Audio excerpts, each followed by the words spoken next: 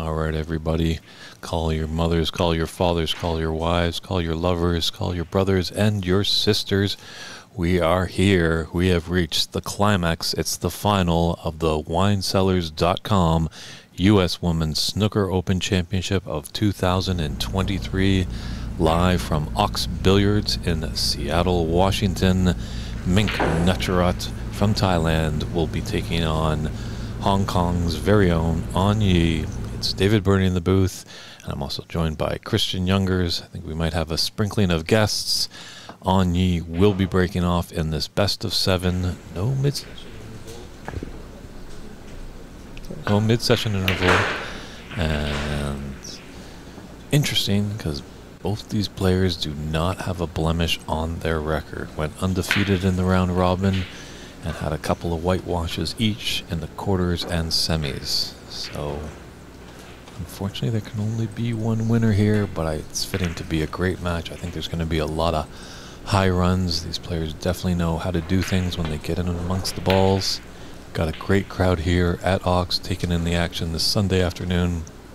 We're glad that you've tuned in to the stream. Feel free to let us know where you're tuning in from. If you have any comments or questions, if you want to cheer some support for Mink or Onyee, I'm pretty sure they'll feel it somehow through the Ethernet.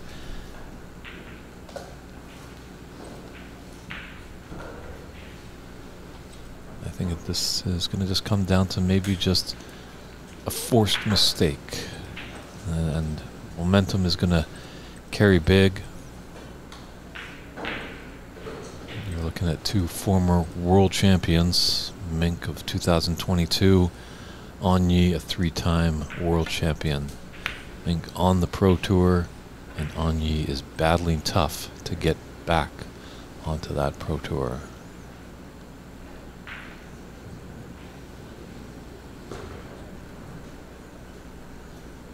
This might be the first opportunity here Onyee with a thin cut into the side pocket.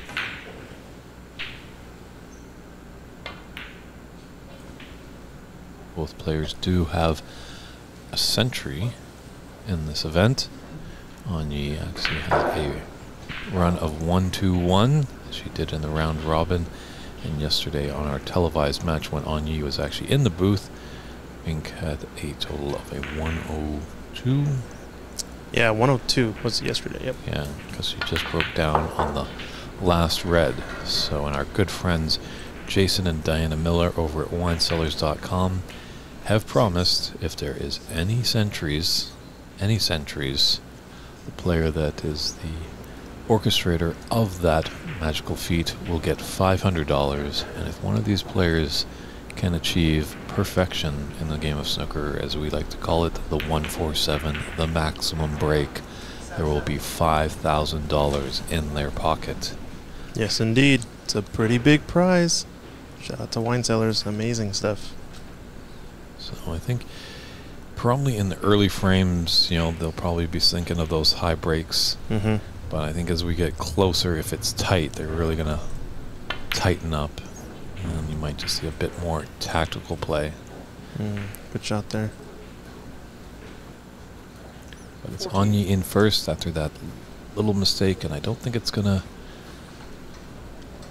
be much. You know, you're not going to get many second chances, as we've seen some other matches on the TV table where people have made some mistakes. They haven't got punished severely, but these two players, both ranked highly on the women's side. Mink is ranked second in the world, and An is ranked third. So definitely the top two ranked players on the women's side.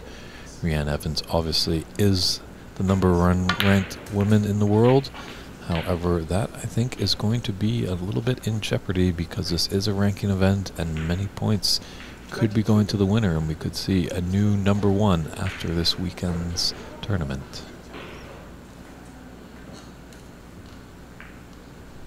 Thanks, Snicker155. My correction, I think, was a 107, not a 102. Much appreciated.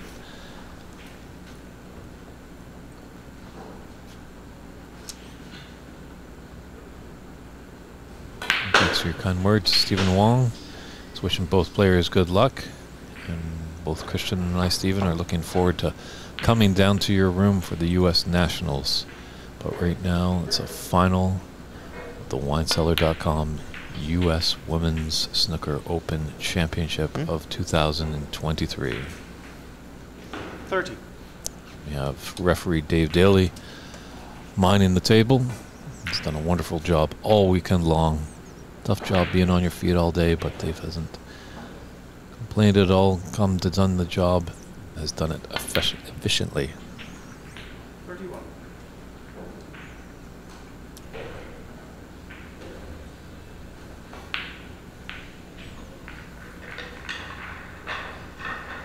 So sometimes the score might just be not right up to date, as our good uh, technical director Christian Youngers might have just issues that sometimes he has to run through. And uh, our team is pretty small behind the scenes, so uh, although we can see the score board from our direction, Yeah, we're good to go. Sorry about that. I think we're on pace. 37 break is the current break.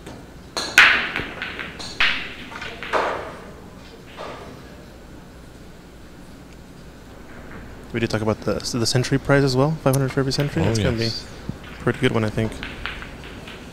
I mean, we have to see one century in this match. It's gonna, it's gotta be inevitable. These two players are too good. definitely, I, I think we are in for a treat here. I think those streaming numbers are just going to multiply exponentially just because the talent here is just undeniable. This could be an expensive match for the sponsor. Yes, it could.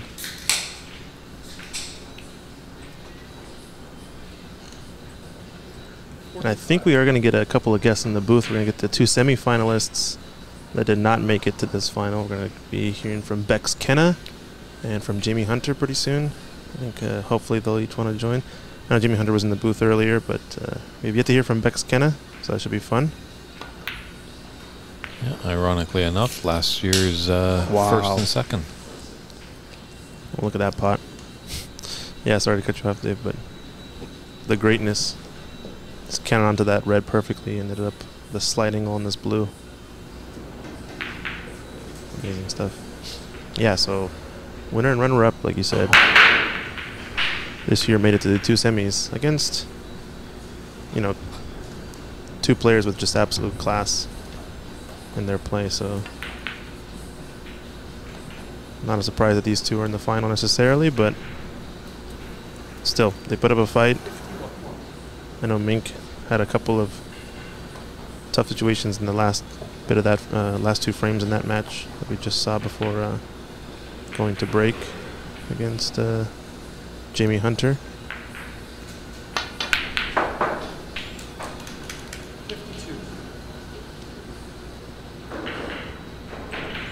Red, good angle on the green to come off the cushion. And hopefully just cannon into the side of that cluster of reds and spread them open to continue the break.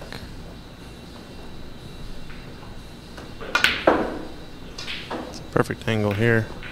How's her luck? There's a red on into the middle. Could have been, could have been more fortunate, but at least there is a pot on. Not a guaranteed end of break.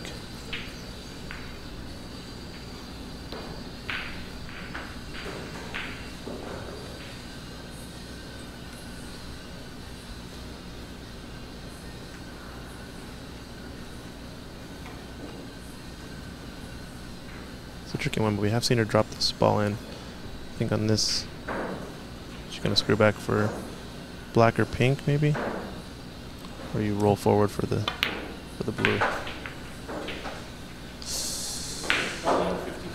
Yeah, drawing back just makes it that much more difficult. Yeah, that angle's pretty steep. So nice uh, opening 55 break, half century right there for Onyee. However, uh, didn't get to the snooker's required stage, so well, we do we do know that Mink is quite capable of making some uh, come from behind breaks.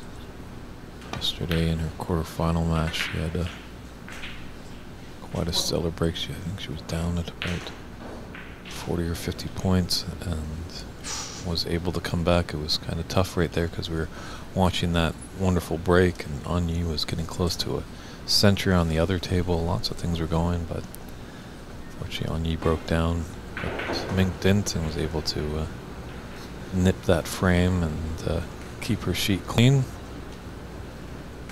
Safety looks like coming up. Roll up behind the yellow here. That's good. That's good one. Good safety. Very nice.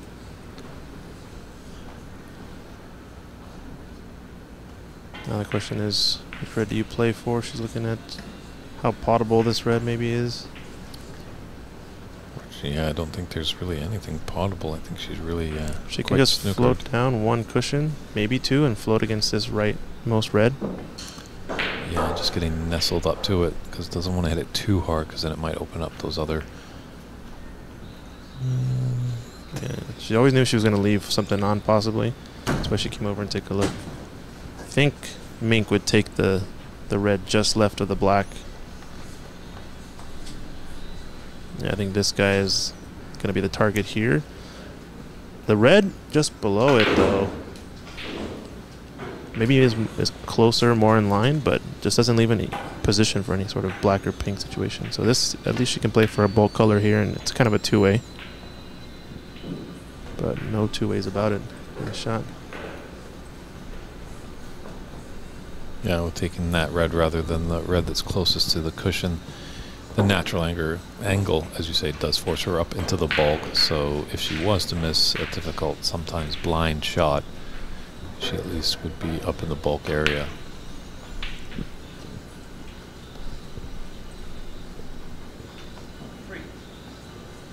So choice of reds. Yeah, nice. Choice of reds here. What do you think? Cannon into the other ones and play for the pink, or do you stun across enough and play for the black? It's a little kind of a touchy shot depending on the angle here. Looks like she's playing the She could also just high those three reds. Yeah. Oh yeah, she didn't even touch him at all.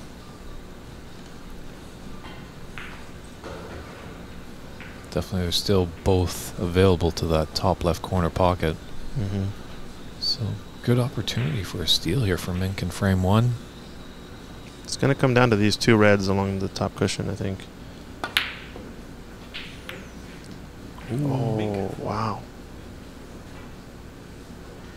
That feel felt a little quick to me. I don't know if it was lack of backswing or backstroke pause, or the whole routine in general was just a little bit fast. But very rare, missing a black off the spot like that for Mink. Mm-hmm. Yeah, maybe just got ahead of herself. Maybe unfortunately we put the hex on her with the commentator curse. No, I think it was going to be tough regardless. The, I said, I was saying that I think the story of this frame for Mink would have come down to these last two reds that are along the top cushion. I remember her. I was going to talk about earlier. She uh, she had the attempt of the high break of the tournament in that 107 that we recorded on this table, but uh, she ended up missing the pot um, along the top cushion, kind of where this red is down here. Um, the, in in this frame so far. I think the red that she had was maybe a little bit closer, maybe in this area. But you saw her afterwards practicing that shot a few times, uh, just because it was a pretty, pretty big shot for the high break. Oh, and Onyee going offensive on this. Yeah, she needed that red or that brown to uh, put it into Snooker's required stage. So Yeah. There's 51 on the table and 55 in it. Nice shot to go aggressive there, because big payoff by getting your frame ball down. Uh oh. I think it's Uh-oh. okay. Yeah, it's all right.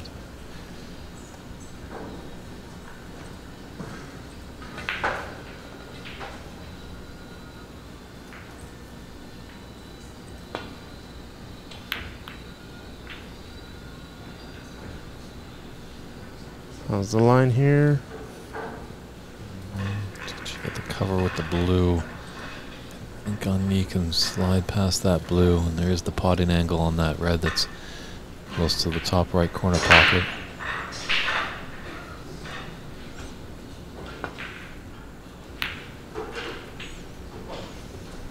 Excellent pot. Well, the speed is a little bit in between, looks like.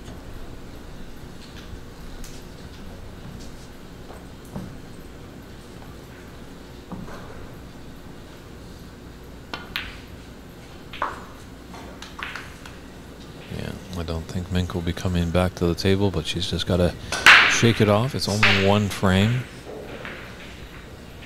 It's definitely capable of uh, getting one back sooner than later. Yeah, great pots here from Onyee. Went out strong in the start of this frame, and so far, I think in her semifinal match as well, her first frame was quite strong. I think she started off with something like a 40 some odd break in the first few opportunities.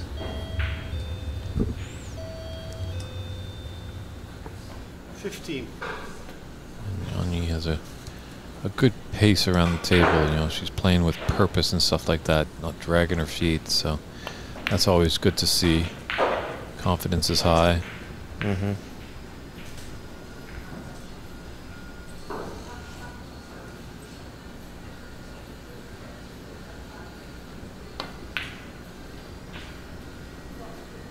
Oh, it's got a pick.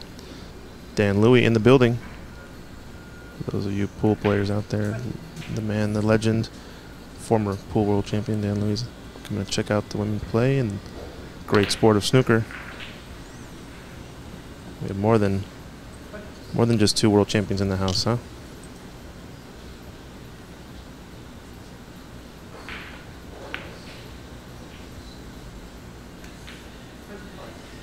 Just dropped that one in. Caught the cushion slightly on the way. She was look, kind of looking at it, and uh, the pace was good though.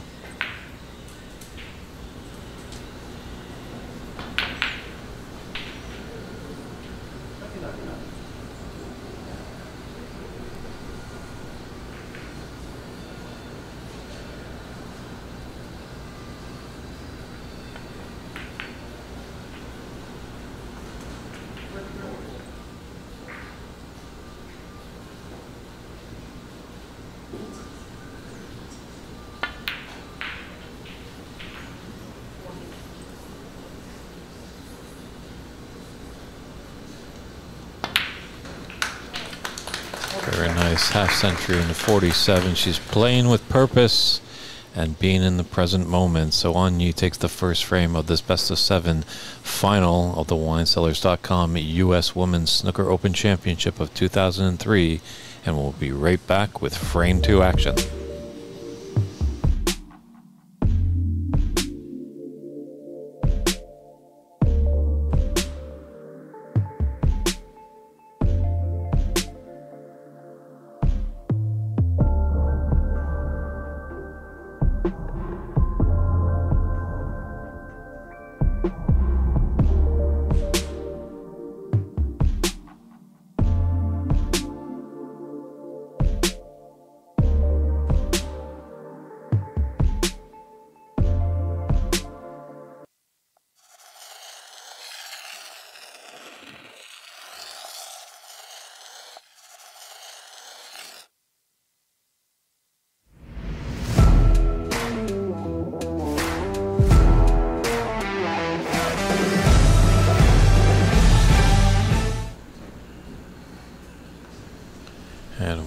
Back here with frame two action of this final. Mink to break off.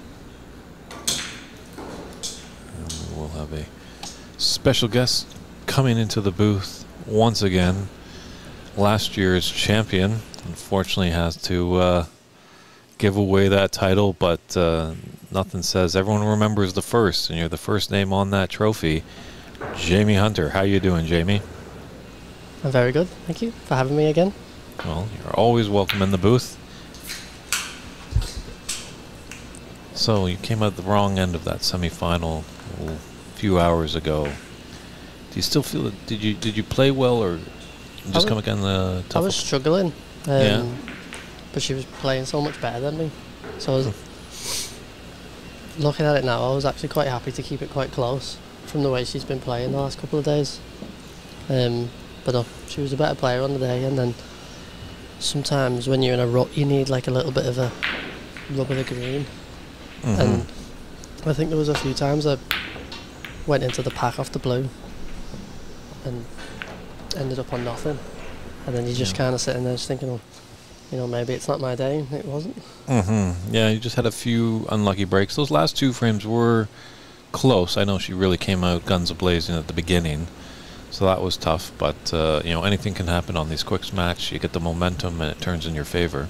Yeah, absolutely. I think as well when you're playing such good players, one shot can be the difference between winning or losing. Mm-hmm. And it was it was me making the mistake on that one shot, so she could, you know, when we were like level board with like one red left, Mm-hmm. with the colours on the spots, it's effectively whoever gets that red wins. Mm-hmm. And it was always Mink putting that red.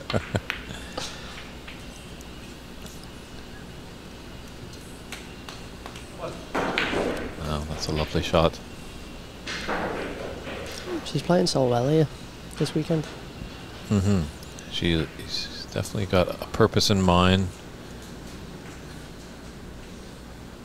Yeah, I, I just I just said to Karen that I'm actually quite, as a joke, I'm, I'm quite glad I lost that semi final so she doesn't make a fool out of me in the final. She's just not missing.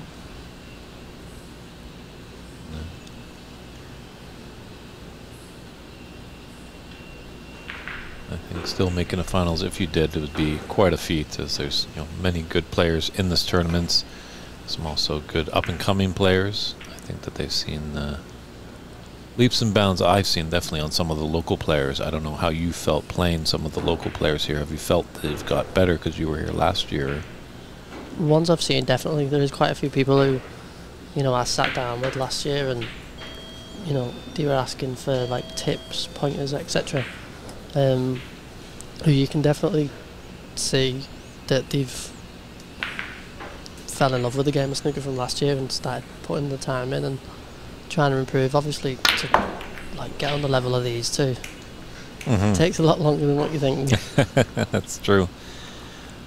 Our good friend Greg in the stream is asking how much for first place, and it's thirty-five hundred dollars. Not bad piece of change there. I should have won it this year instead of last year. Well, there's always next year, so probably the prize rate's going to even go higher for next year. Maybe. Hopefully. Fingers crossed. Have I baited my own self to put into that prize pot? I guess to make it bigger. Get you all out.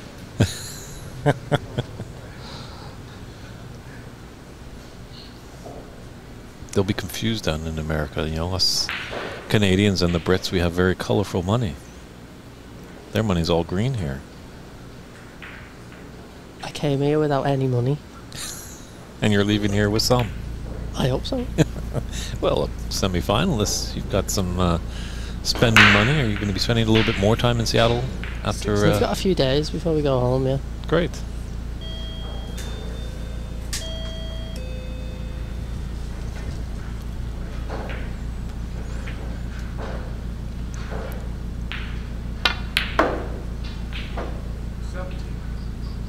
Cool. I think she's surprising herself with how well she's queuing. Yeah, That she's just overdone that a little bit. yeah. I've noticed with both Mink and Onyee, they have been surprised the action that they're getting. Usually they would be in a spot, but they've sometimes overscrewed it by you know a couple of inches. It might not seem a lot in the whole scheme of things, but in the game of snookers, a couple of inches is almost like a couple of miles if you're off. Oh yeah, absolutely. This game's all about fractions, so 24. Just a couple of millimeters can be the difference between an easy shot and you know one that you it's a bit 50-50 on. Mm. That's our good friend Chuck in the Motor City of Detroit. You ever been to Detroit, Jamie? I have not been to way. Okay, well, it's a fun city. Lots of great musical history. That was where Motown was. A lot of electronic music, rock and roll. But Chuck is asking, do you play or are you a fan of any other cue sports? I'm not a fan of other cue sports. You know, obviously I dabble a little bit in pool because I think if you go from snooker to pool, pool feels really easy. Where if you go the other way around, snooker's a lot harder. Mm-hmm. Um, but no, I don't really follow any other cue sports. I'm a massive uh, football fan Yeah. and soccer fan. Great to hear. Also, great to see a real trailblazer of the women's game. Allison Fisher is up on the stream saying hello. Hello, Allison. Unfortunately, I wasn't able to be down here in uh, Ox for their uh, the exhibition and training seminar that you did. But I hear it was a great success, and uh, hopefully you can return again someday.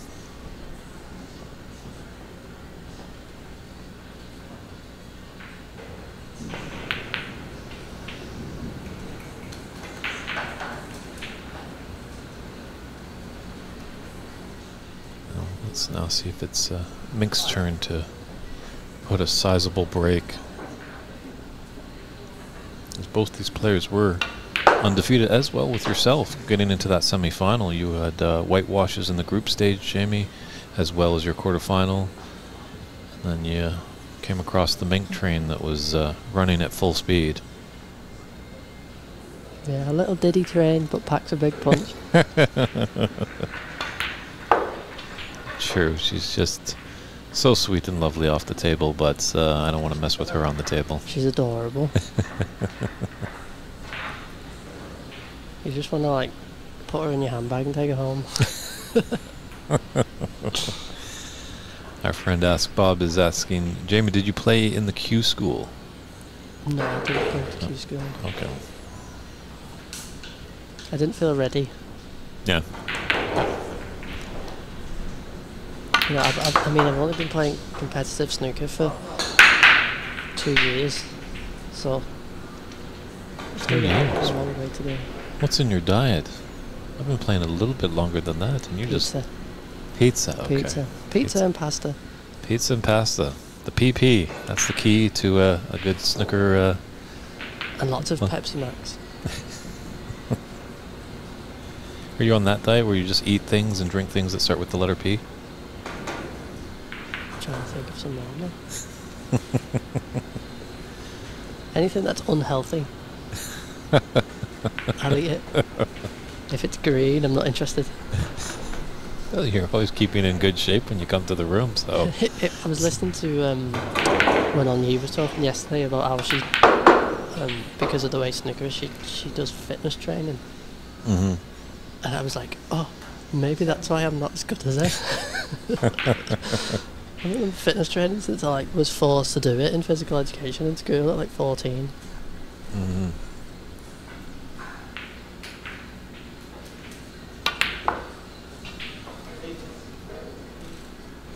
Yeah, it's definitely. Uh, snooker is definitely a more mental game. You don't have to be in peak physical shape, shall we say. As we do remember, great Canadian player Bill Werbeniuk probably would uh, drink any beer he had a sight on. But I think it does help now a little bit just with your mental feeling. If you're f- looking good and feeling healthy, it can help transpire into yeah, the I think they're definitely tied together. hmm Like your mental health and your overall like fitness and well-being. But fitness is a word that scares me. What if it started with the letter P? If it had pizza at the end of it, like if someone said run 10 miles and you can eat the best pizza in the world, you best believe I'm sprinting them 10 miles. I might hold you to that. Now you've scared me. You've said it to the world now, Jamie, so you might get some offers now. Hey Chucky, nice to hear from you.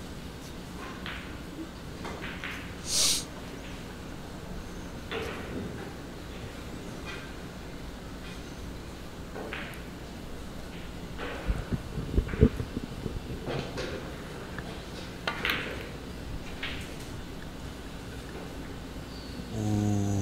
Mink 25. What a there, 'cause she's definitely left an easy one for Onyee. Seems with like these two players and yourself and Bex, both semifinals. Don't want to leave you for an easy starter. I think it's a catch 22 because like the shot she's just played was like a, a, a big shot. You know, you're going into the reds, you know if you miss it, you're going to leave something. But you can't think like that mm-hmm. because you can't build breaks thinking, oh, what if I miss? Yeah. So obviously, if you go for it full blooded, you end up leaving a chance.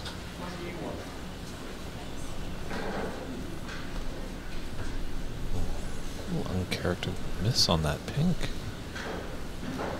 So, Mink has got a second chance.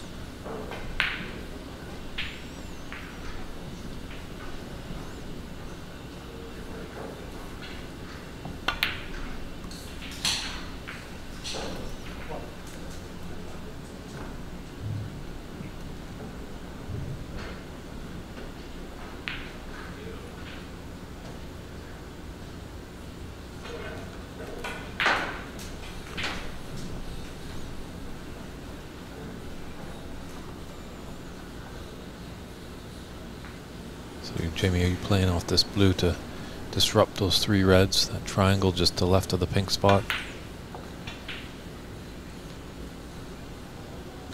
Normally, yes, but the way the cannons were going for me off the blue before, no. Fair enough. Good to know, yeah. no, I think that when you're going into the, the pack of reds to disturb them depends on the player. So, like John Higgins, for example, he always leaves it to the end. He takes every loose red first Mm-hmm. before. Where I like doing it nice and early. Yeah, Stephen Hendry, Hendry liked to do it nice and early, so you're probably in pretty good company there. Yeah, but he was good. Oh, don't knock yourself short. You're last year's champion. Yeah, that's it. My name's on the middle of that trophy now. Forever. Never going away. Yeah.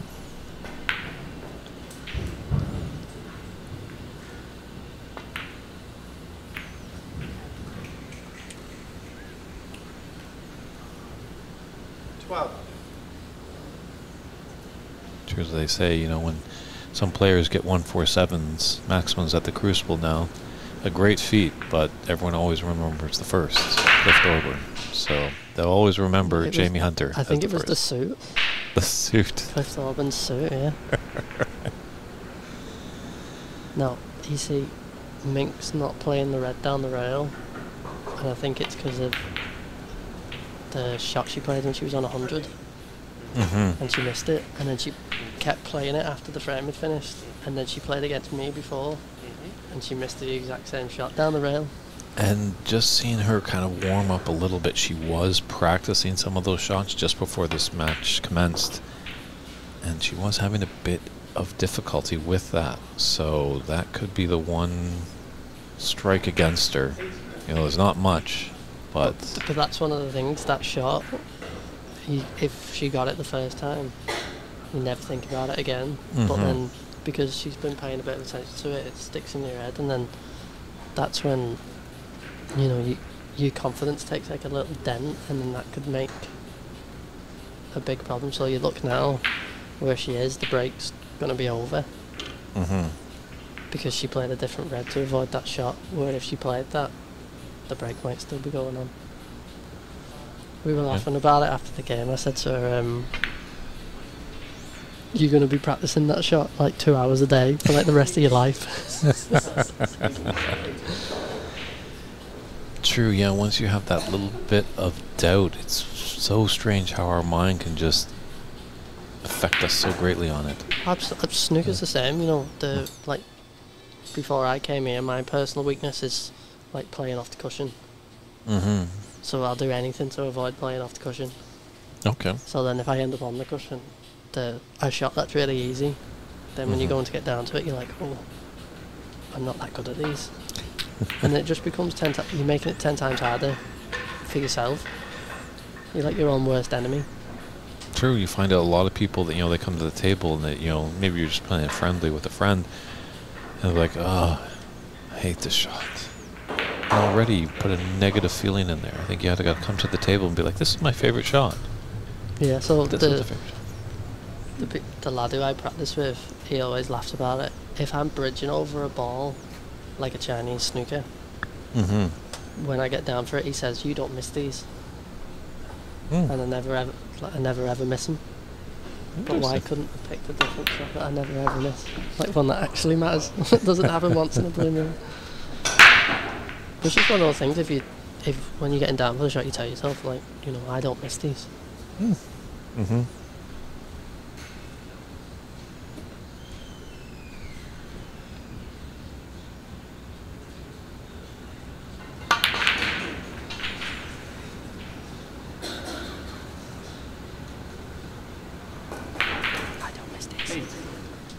Yeah, that's a Jamie Hunter special right there. and uh, Might miss it in a final when it matters. But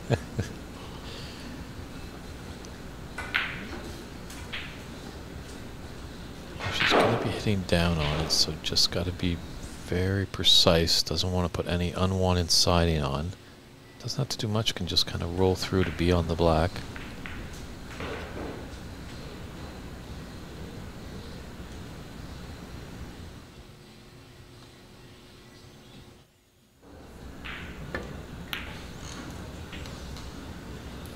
Great picture there showing what you had to deal with, and yeah, just.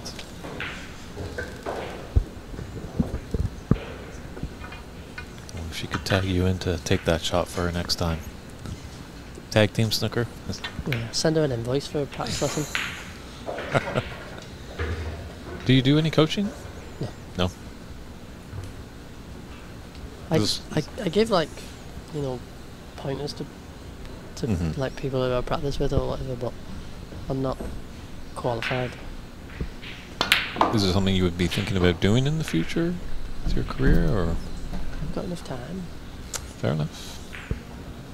I think I was saying to Onyee before, you know, she plays snooker full time, Mm-hmm. where I have a full time job. Correct. Yes. So it to be competing with them at this level, knowing that I get less than half the time that they get Mm-hmm. to practice, Yeah. I'm quite happy with. Yeah. Onyee has the Hong Kong government and talking with Mink, her club, the high-end snooker club in Bangkok, definitely is supportive of snooker, so she gets some backing through them. Not sure. Do you have any backing at all, or you're just pretty much self-financed? It's Self financed. that's impressive. So obviously working like you know eight eight hours a day and then having to go practice. It gets a bit much. Definitely.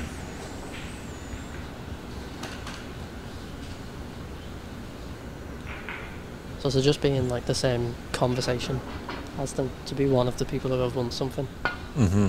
as well as them. You know. That'll do.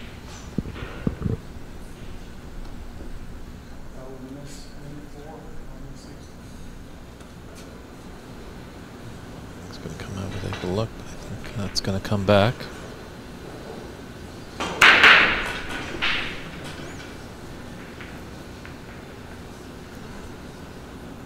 It's bad enough when uh, your opponent puts you in a snooker that sometimes you put yourself in one after that color ball that Onyee had. Hopefully it's not too costly for her. The worst is when you pot a red and you end up stuck in the pack. That's true. And then the other person just keeps putting you back and you're like, oh, this is all my fault.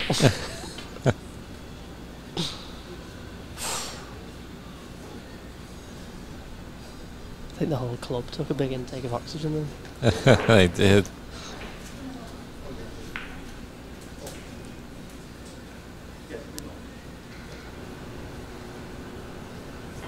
So free ball has been awarded.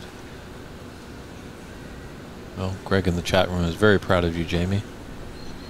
So, it is a balance when we are kind of amateurs. You know, we do it for the love. Not all of us are getting paid, but hopefully, with more and more of these tournaments, more exposure for the women's game, we can get those prize rates up, a bit more sponsorship. So maybe you can take saying, that. saying the other day, it's just about you know exposure and and viewership.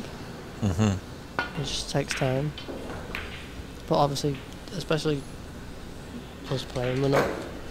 Well, me personally, I'm not not in it for the money. If I was there to make money, I'd be doing a terrible, terrible job at it. I think uh, you know as much as snooker is kind of a, a niche sport. You know, it's not, I don't think it's ever going to really take over the big mainstream ones. Say North America, the football, the baseball, basketball, and hockey. Um, will it challenge um, football over in your country of England? It used to way back in the '80s when snooker just had its boom. I don't know if it ever will return to that, but I think a lot of people in and around the game are in it for the love of it. Oh yeah, absolutely.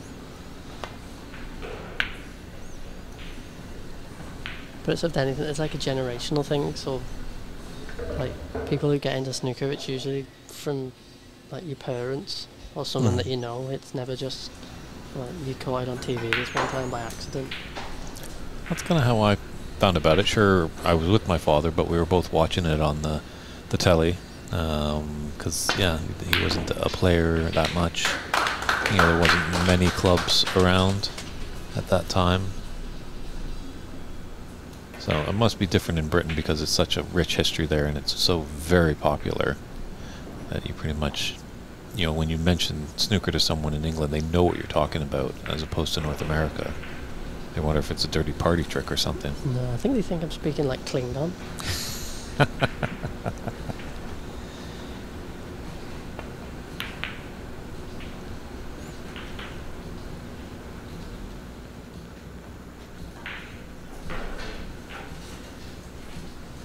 Eight. Well, Onyee's able to steal this frame, that would be pretty big.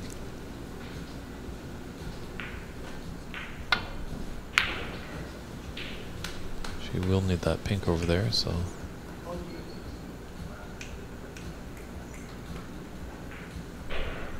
Laid a nice snooker there, that's for sure. I think the blue's in the way for the easy escape.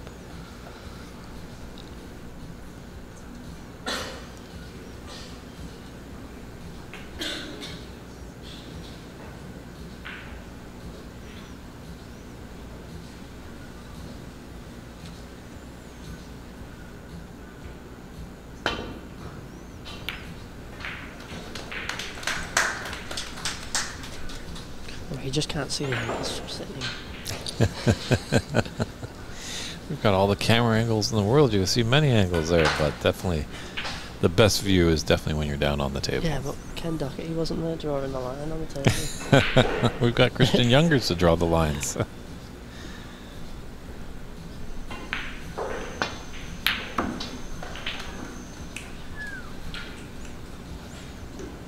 Great long pot there. And yeah, Rich, I do agree. Um, snooker has kind of gone on a little decline, but I feel like it's it's coming back. The only just unfortunate part is we get so proud of himself. there he goes with this telestrator. We get um, some of these developers and landlords are, well, I could get a lot more money with a residential lodging than putting in a snooker hall takes up a bunch of space. I think it's more to do with um, getting young people into it. Mm-hmm. Do need that turnover, Especially yeah. from me, like from, from like I won an under 25 tournament where I live, Mm-hmm. and then the year after I won it, it hasn't been on since because there's Hmm. not enough people under 25 playing. Oh, yeah. But I think if we do keep doing this, I think as you were saying, like exposure, we have streams because then people can see it. Not everyone's going to pick up a cue, but someone might get inspired out there, Oh yeah. and hopefully, you know, some youngsters will be able to watch this as well. But I just think there's been a there's been a gap from when, from maybe between like the last four to five years, of when I played in the junior events. So Mhm. they kind of got left behind, and then now the big booms come where people have thought, oh my god, you know, we need to get more young kids in. Mm-hmm. But all these kids who are they're getting in are like eight, nine, ten. So it's still going to take a bit more time before Yeah. they then ponder through into the actual tournaments, because they're still just novices. Very nice blue. It's Would you coming. go for the back double? of course.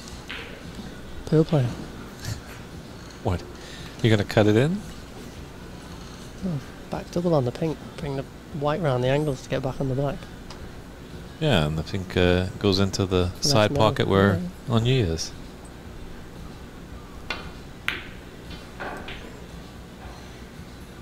Shoot for it. as well.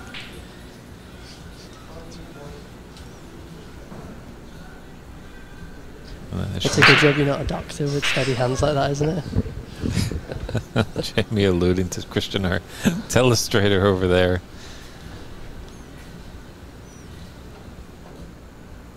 Maybe we'll have to get him like maybe one of those little uh, computer pencils or something like that that he can draw on. He's kind of doing it freehorn with a mouse. Look close. wow. Black ball frame.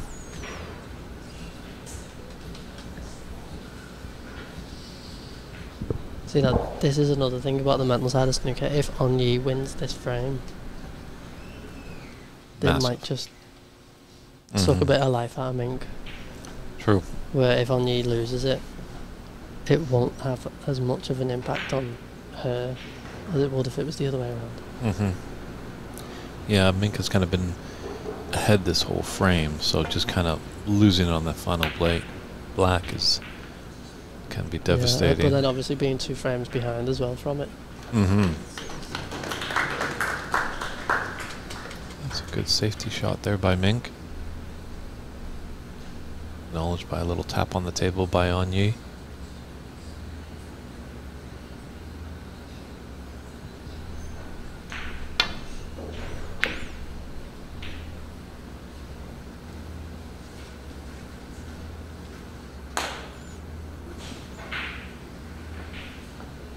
So that one's come out.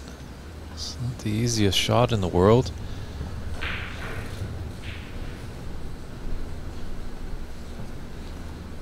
Does have the ankle to try the pot into the top left pocket, come off a couple of cushions and return to baulk.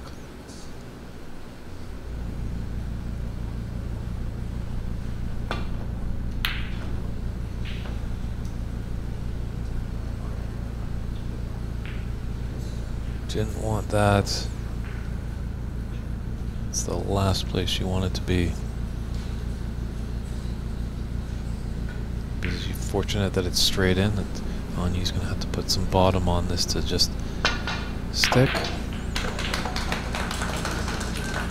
What a steal there by Onyee to take that second frame. Well, Jamie, it's been lots of fun. Pleasure. As Always always. great seeing you. I think we're going to find uh, your fellow semi-finalist uh, Bex Kenna to come into the booth, and we'll let you sit back, enjoy some pizza, Oh, that's. Oh, enjoy the final. And uh, thanks as always. Always great seeing you, and definitely looking forward to seeing you again next year. As always, I Um, shall be back. Uh, No, I am the Terminator.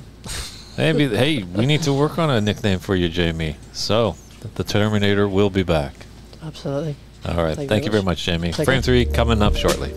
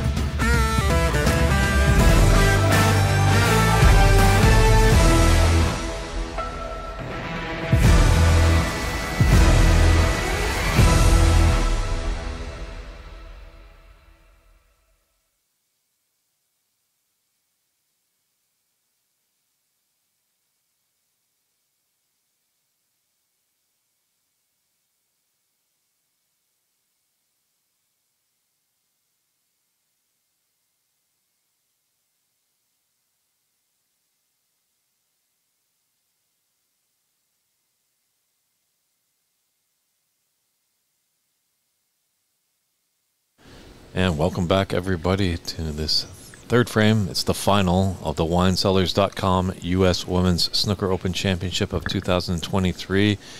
And I'm joined greatly in the booth by last year's runner up, a semi final this year, Ox's very own sponsored, Rebecca Kenna. How are you doing? Good, thank you. Sounds good. All good. So, you happy to be back in Seattle? Yeah, yeah, I loved it here last year, so definitely was always going to come anyway.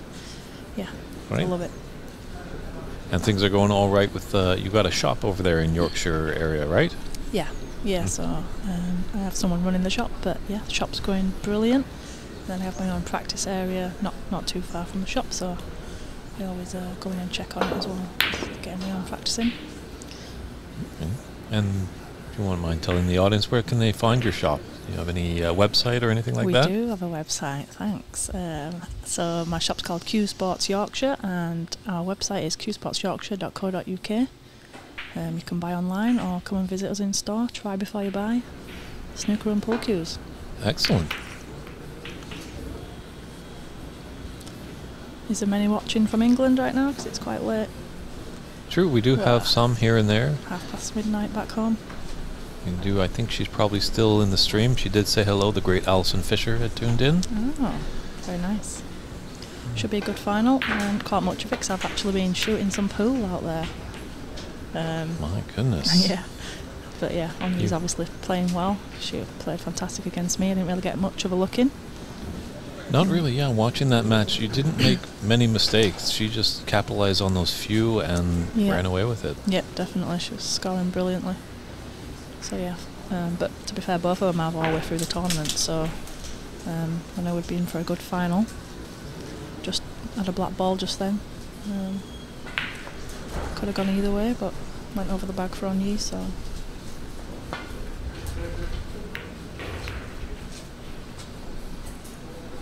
Just a little history with you, Bex. How did you get into this great game of snooker? um, just playing in the local pubs and club with my dad really. growing Mhm. up. Um, so I used to visit my dad on weekends, and well, his thing what to do was go to the pub. So he used to give me some money and put me on the pool table, and then he used to go to the snooker club and play. And then so when I was tall enough, I just I had to go on the big table, and then I've loved pool and snooker ever since. Um, but since getting into snooker more, obviously, I've gone away from pool totally. So yeah, snooker's the one for me now. How has it been on the uh, proto? then we got a little product placement here. It looks like. What is this on camera now? Yeah, there it is, right there. So There's. this is my very own Cue Sports Yorkshire chalk buddy magnet for put it in your pocket and stick your magnet um, to the chalk and then it holds the chalk outside rather than using a pouch or putting it in your pocket. Mm. So yeah, we've sold a few over here, so it's good. So that going to be your nickname now? Clean pockets. If you want, yeah. oh, we've got to check with the players first if they like well, the nickname. well, we've we've called that um, the chalk buddy. Chalk buddy. So Okay. that's the chalk buddy.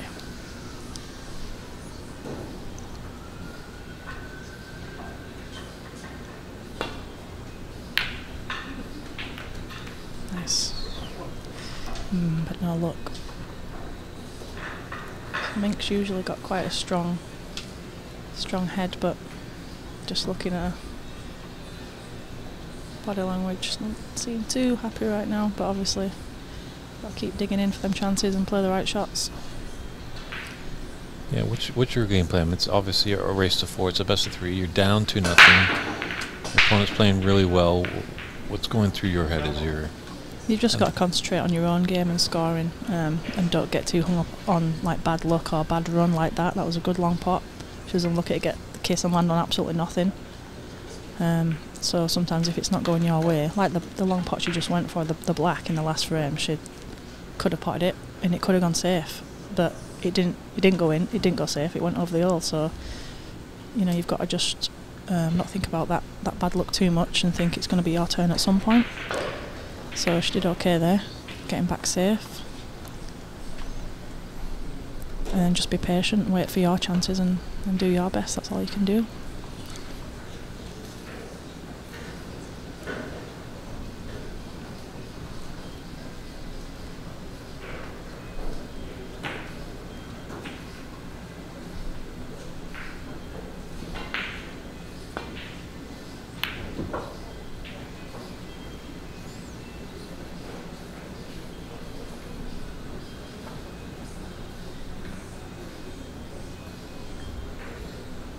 So what was your game plan coming in to play Onyee earlier today?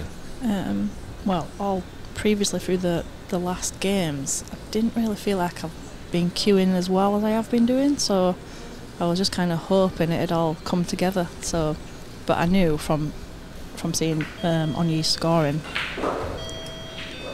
that I wasn't going to get loads of chances and she was going to take hers. So I was just kind of hoping it was all going to come together today, but I didn't actually get a lot of lot of chances anyway.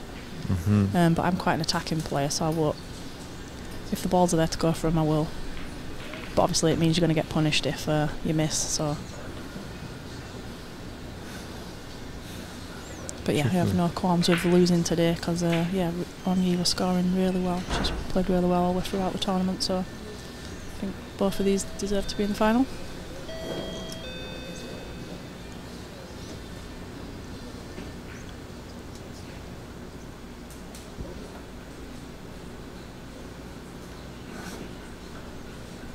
It's an important frame for Mink here. Hopefully she can uh, grab this frame because going down 3 nothing in a best of 7 really is a mountain to climb. But stranger things have happened on a snooker table. Yeah, definitely. Yeah, even when I was playing, when I, I was at 3 0 down and 40 points down, all I, I'm thinking is, right, well, if I can get in and get back in and then get that frame to for Onyee to be 40 points ahead, 3 0 up, to then somehow get you know back into it, then all the momentum's with you. So the only the only way is up then. So, Mm-hmm. so you've, got, you've got to remain positive all the way through and just dig in and keep believing. Yeah, those sometimes are the dangerous moments because you're playing really with nothing to lose. Yeah, and your arm can just relax and And then you get that mental head games going because, yeah, if you were to take that frame on Yeah. you might be like, I was that Yeah. close to Yeah. achieving victory. exactly yeah. Now what are people going to think? You know, I'm down, we're up 3-1, then it's next 3-2, then we're at 3-3, and you put in a decider. And Exactly, yeah. And it's it's all about the mental game. Once you get to a certain level in this game, it's who can like hold the head the best and play the right shots at the right time and have the right mentality all the way through the match.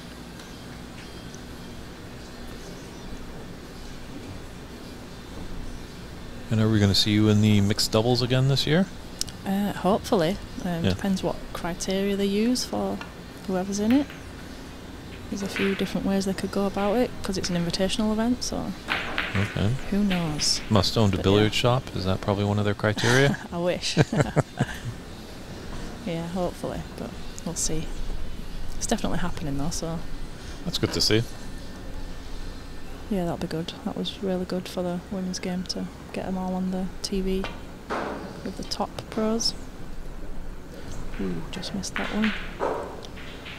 It's gonna be pretty safe though. Oh. Did you get many um, little girls back in England uh, come up to you and really are inspired by what you're doing?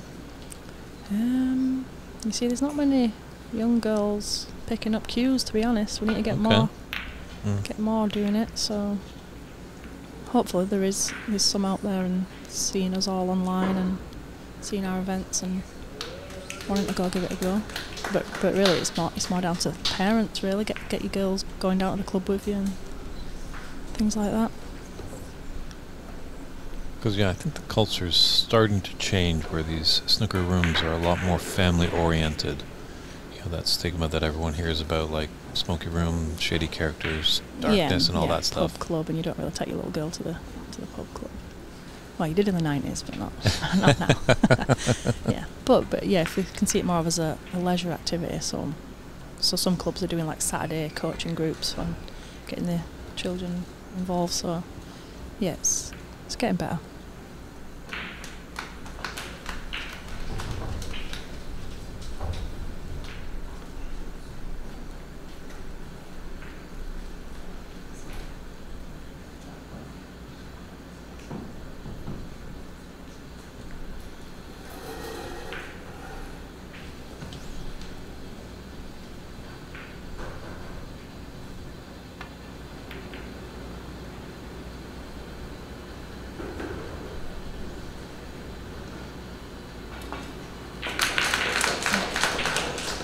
Wow. Hmm. Could be in trouble. Yeah. It seems like Onyee just has all facets working. One thing I noticed early on in this tournament, seeing uh, both Onyee and Mink on separate round robin matches, that Onyee just seemed like she had a little bit of the edge with the long pots. Yeah.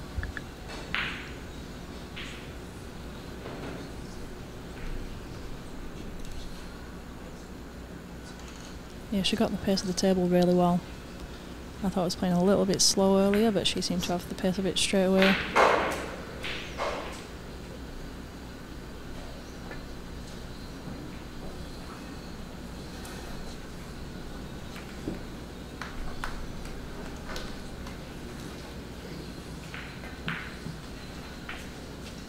Hmm. As long as you got the angle here, just pop that middle red and flick that over red to get straight in, um, in and amongst the black. Nope. That's right, because it's going for the yellow pocket.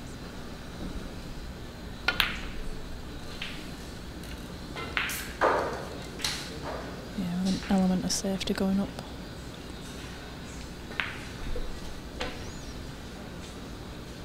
Yeah, and you didn't miss much against me, but when she did, she, I didn't really get much left, did I? it's just how it how it runs sometimes.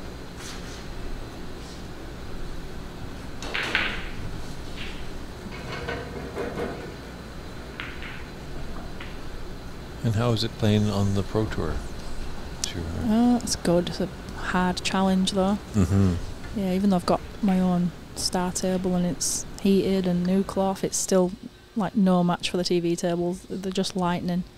Hmm. So it's taking a while to get used to just the just the table, as well as the fact that you're playing against a, a top pro or you know someone who can not give you many chances and plays all the right shots. So yeah, it's hard work, um, but it's good. I'm learning learning from it and thankful for the opportunity to be able to try play this sport full time. Ooh, right behind the yellow again, almost. Mm-hmm.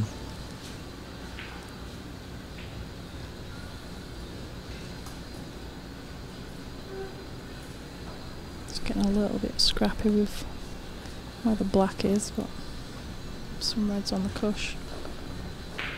On the rail, as you say. Well, I think we had this discussion last year, maybe that there is a vocabulary for snooker, and then there's a vocabulary for pool. All right. And I think maybe you know, So even in when you're talking about snooker, you'd still say the cushion. I would say the cushion. Yeah, I would say a double. Yeah. I would say a plant. Yeah. All right. So you do talk snooker, so talk. Uh, and I think uh, part of us are just to, as well, educate uh, the pool player. Just when they start say a plant, they might be like, "What are they talking about? Mhm. Like, are they going gardening?" Yeah. But uh, tell them that it is a combination, or a double being a bank shot. yeah. So,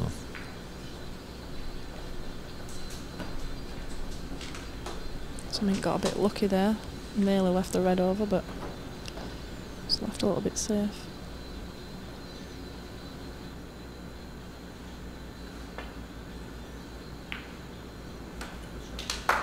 Shot. hmm To drag that in as well and trust the table. Got to be uh, confident to, to have a go at that.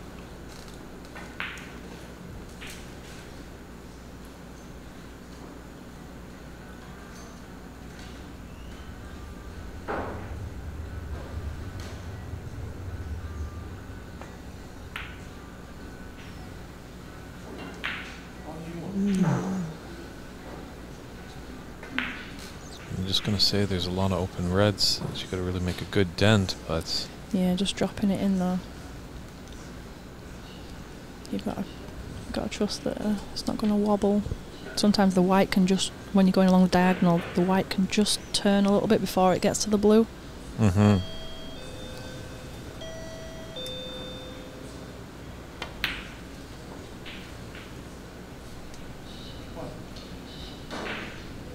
So it's a nice starter for Mink. Can she get in and score some points here with the open reds?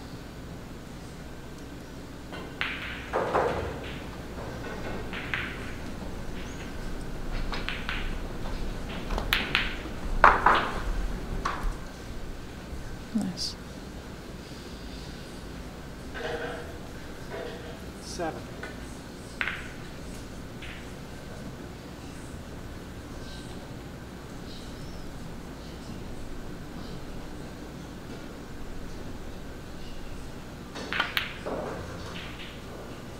Eight.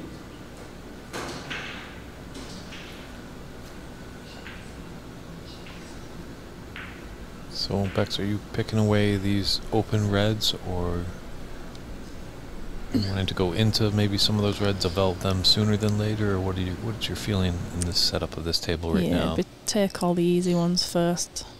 hmm Get your points up. Get get yourself in, and wait for a good chance to to maybe go into them. Because you want you want the table time as well, and you want to feel like you've you've been on the table a while, and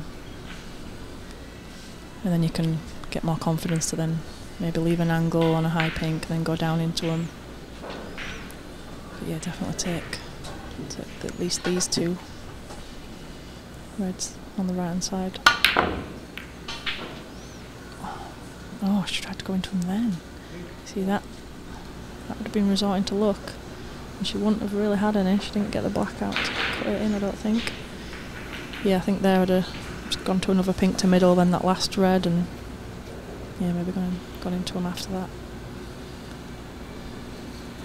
But I think that, that pocket must be playing quite tight because I don't know if you've seen, but the Mink had a few goes at that that red down the cushion um, that she she missed to get like a one four two clearance. She tried it and tried it. It's just a hard Mhm. one down that rail, so maybe that's just a really tight pocket.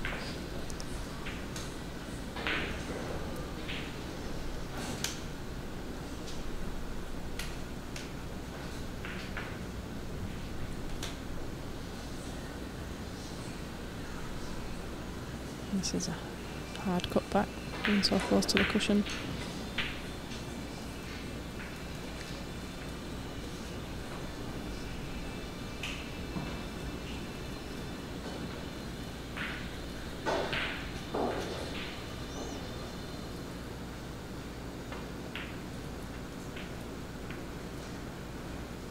There. Great pot, but she's going to get onto a red.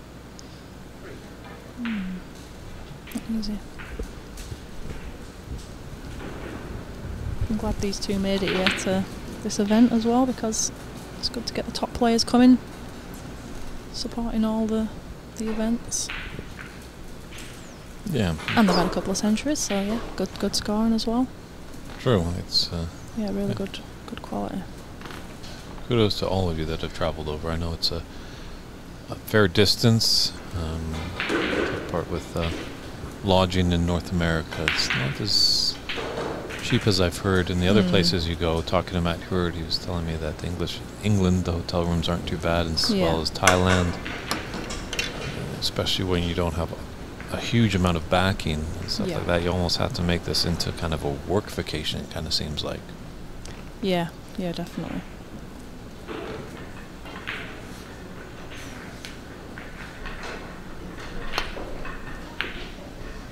Well, I have a, a couple of sponsors for the women's tour.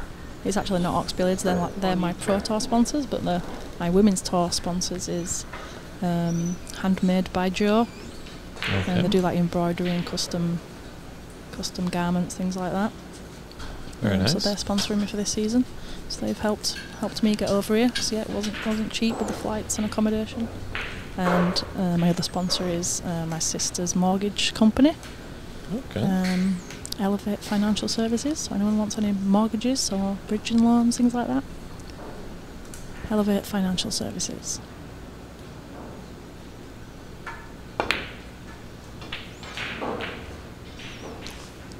Ooh. That's in pocket. Yeah. Could be starting to get into the red. I mean, they are hard shots along the diagonal to stun it in off the side cushion. She played the white pretty nice, as she left on Yeen with a chance. Looks like she's going to cannon the black.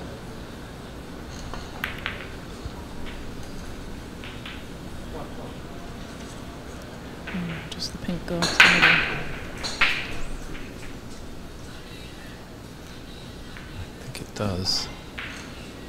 Looking at our vantage point, we're kind of just Looks totally different in. Oh, like I can see in real life. Yeah, it totally does. Who Yeah, knows in artificial world, but yeah. in real life, it always goes.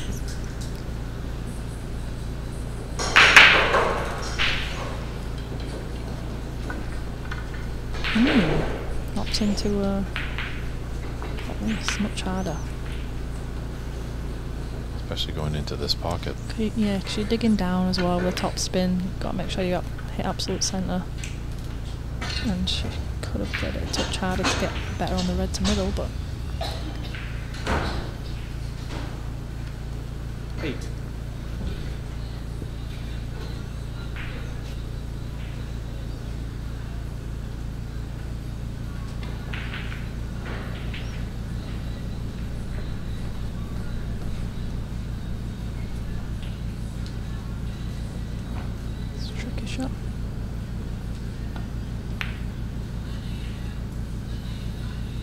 very tricky shot that.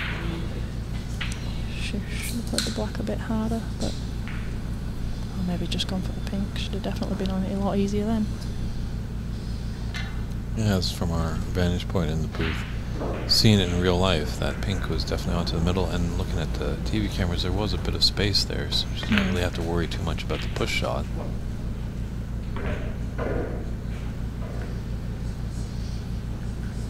So still anybody's frame though, with close points and some safe reds.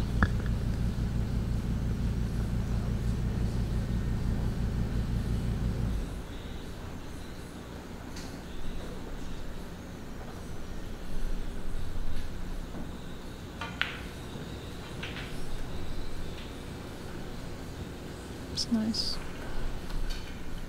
Five.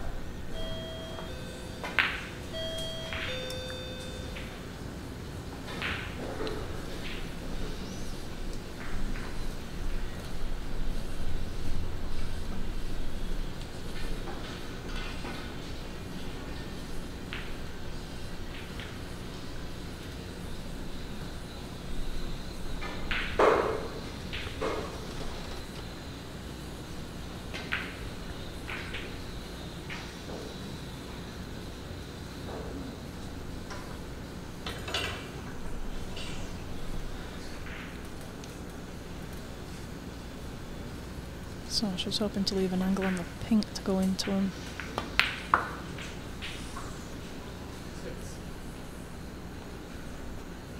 Looks like she has done this. It's an important frame for Mink. Obviously in this best of seven, so I want to be going down 3 nothing. As they say, you're really in the match until you get that first frame on the board. Perfect. It's nice. That'll give her some confidence. So when you're looking for a bit of luck, if you don't get it and you haven't had any through the match, you think, oh, it's not my day. but when you do, and you get a nice, nice kiss like that, to leave you on another red and black.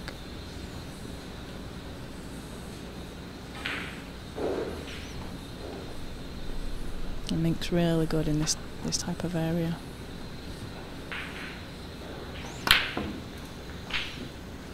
It's a really good technique. Lovely cue action. She's got a high black. She doesn't seem happy with that, but well, looks like a high black. Is that too straight? Oh yeah, just a slight angle. Might not be enough to do anything with those reds.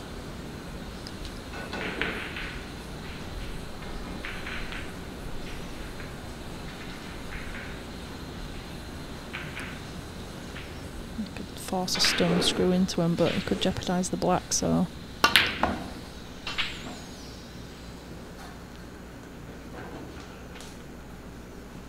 And look for this red, which looks like a very hard cut. Mm. Very thin. Yeah, so Onyee played a lovely shot like this earlier where she just dragged it in. You've got to really trust the table, stay true, because she wants an angle off the pink to go back down again. Ooh, nice.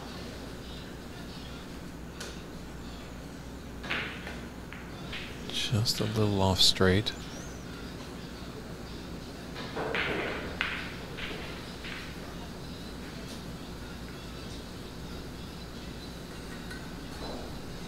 Yeah, I think a little too straight again.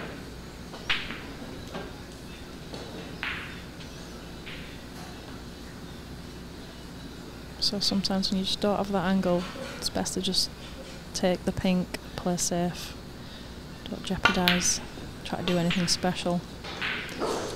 Ooh, like that. Why did we need to screw to the cushion? Mm-hmm.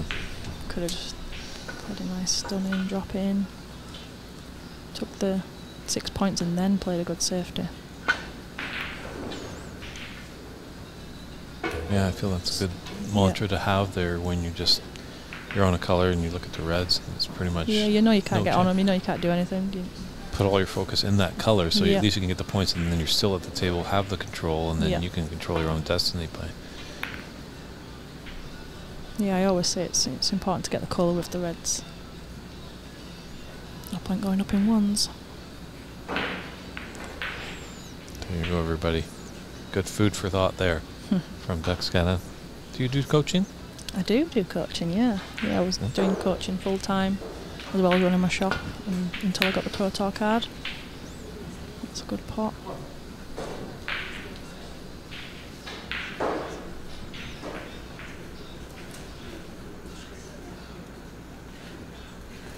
Yes, I'll say that to, to beginner levels as well. Is when you're in a match in the league matches, just try get get a colour once you get a red, and then you can play safe. But but never jeopardise that colour to to try get onto a red because you're jeopardising seven points to get onto one point. So if it's if it's not on, just take the seven and play safe.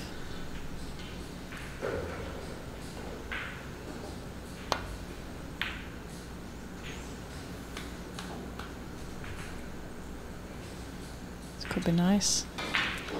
Oh. Oh, that could be perfect or it could be a millimetre out. Didn't hear no clapping, so Mm-hmm. I'd have clapped if that's plum.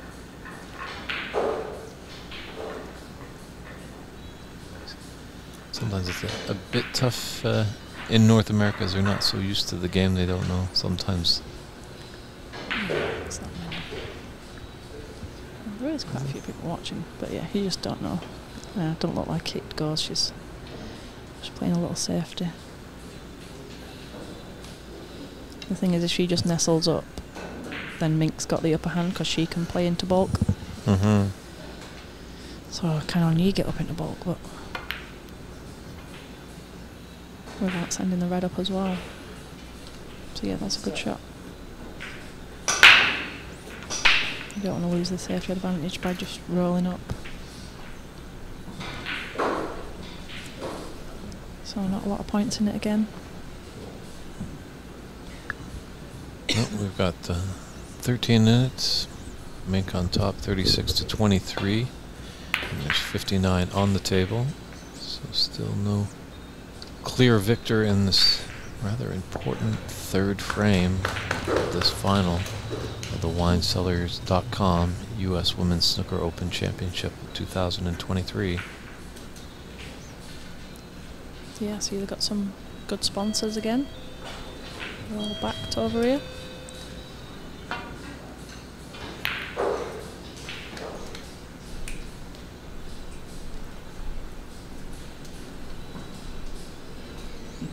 I'd love to have a wine cellar. I'd love to have any cellar. I don't have a cellar in my house. Sure, they've been showing a little bit of advertising in it uh, throughout the broadcast. It has definitely made me a little bit thirsty. I like a red wine. Sparkling, right? Well, I had sparkling over here with my meal, but um, in general, I just like a normal red.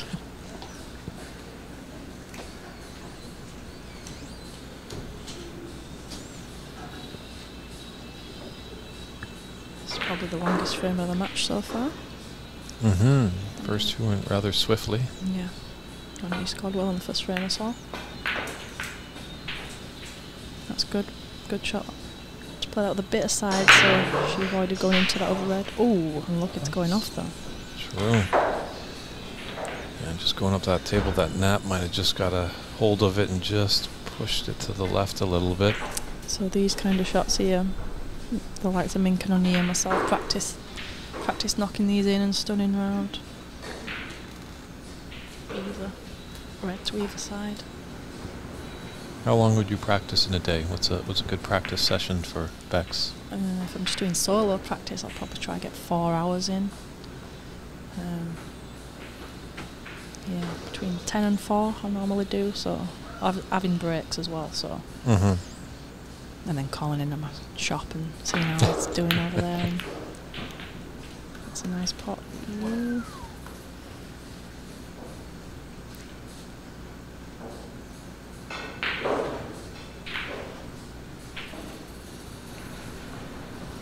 It's hard high back, reaching over as well.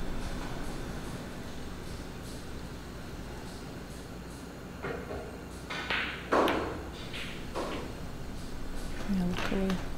Yes, nice. I was going Um, to say the natural angle, she should be okay, but she can count herself a bit unlucky there. Eight.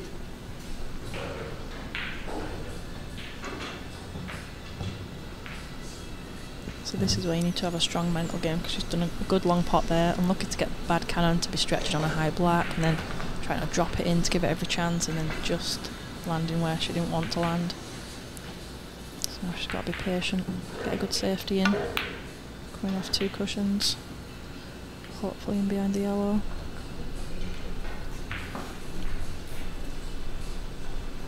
Cover on the brown. Yeah, best of seven in professional snooker standard is rather a short match, but I think that's uh, in these matches. Sometimes, if a player has the luck at the beginning, it should at some point switch over to the other.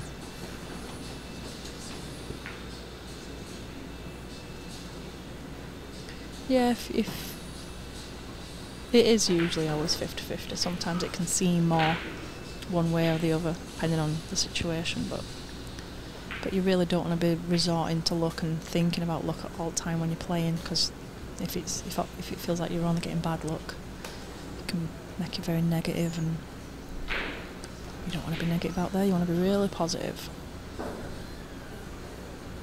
Sure, and at times luck will run out, Yeah. but the proper technique stays with ever, stays with you forever. Yeah.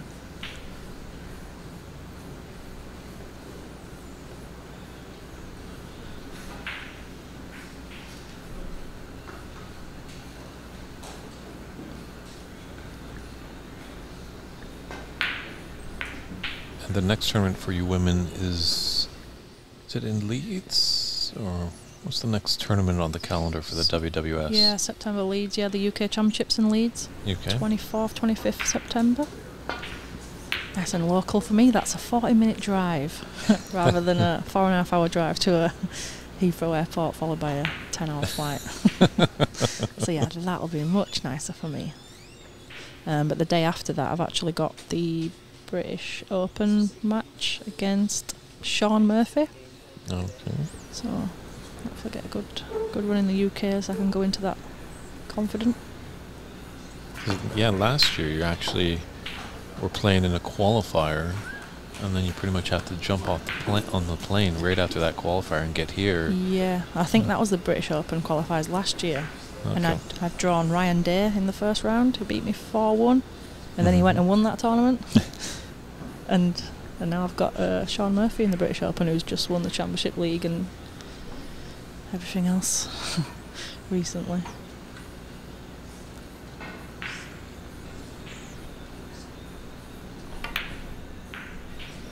Yeah, so as soon as Mink gets back to Sheffield after this event, the British Open qualifiers on the Pro Tour are, are now.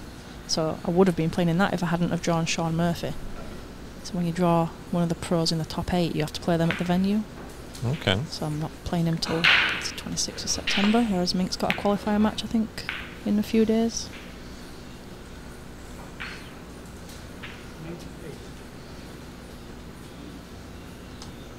Hmm, I think Onyee can knock this one in. You're in so well today with the long pots.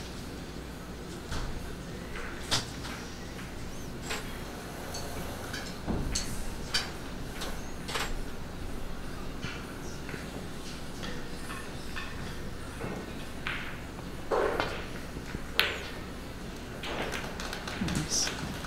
And a lovely flick on the pink.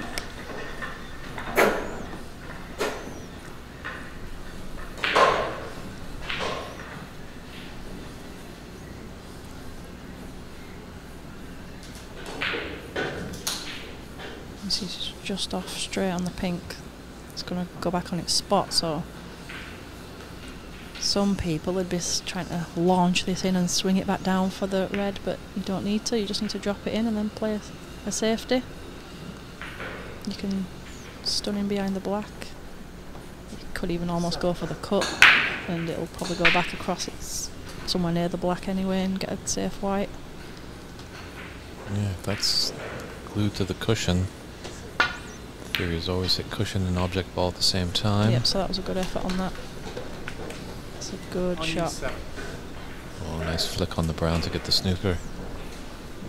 So that's kind of what Mink could have done earlier, just taking the pink and then playing safe. No heroics. Mhm. So 56 to 30, so 26 points in it, and there's 35 on the table. Blue is kind of relatively safe. Oh, that's a nice hit. It's coming back down.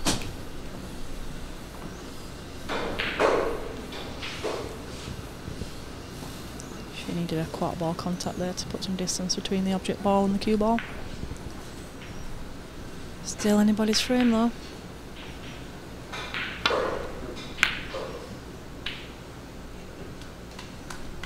It's another nice shot from Onyee.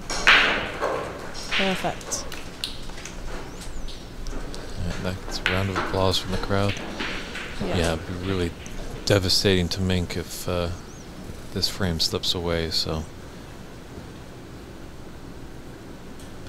Yeah, I think she'll still, you know, fancy that she could win, but obviously it'd be an uphill struggle. But Mink's generally quite confident and always believes in her capabilities. But this was such a good shot from Onyee that it, the, the red's, you know, very close to the centre of the table, so it's not near a cushion, very hard to hit. Off two. Oh, that was so close as well.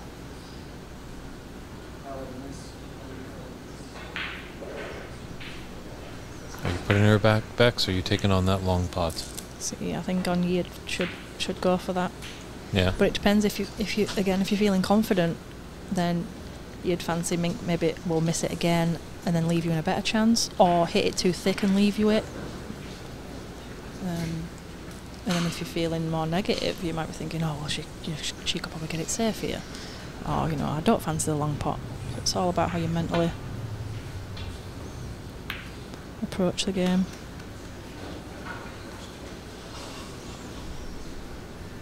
So that's gone pretty safe. That's the that's the chance you take sometimes. You can either put it in your own hands and go for it or put it into the hands of luck.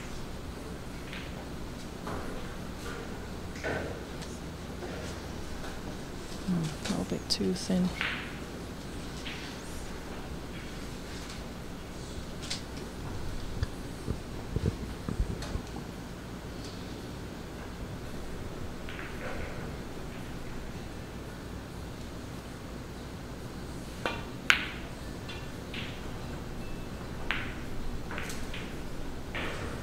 It's nice.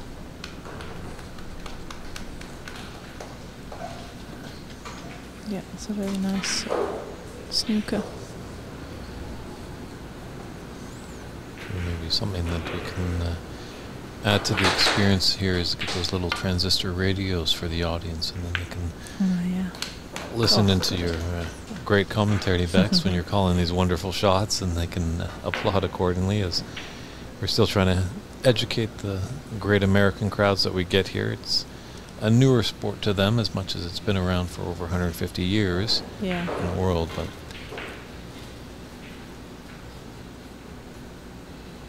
So have we had any claps when it's been free and ball? Or have we uh, forgot to do that?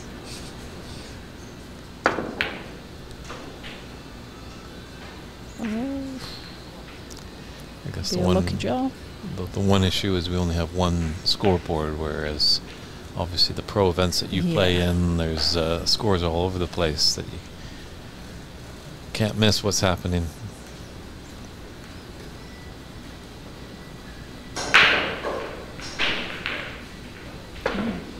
This. Good shot. Good full ball contact then, so just put distance between.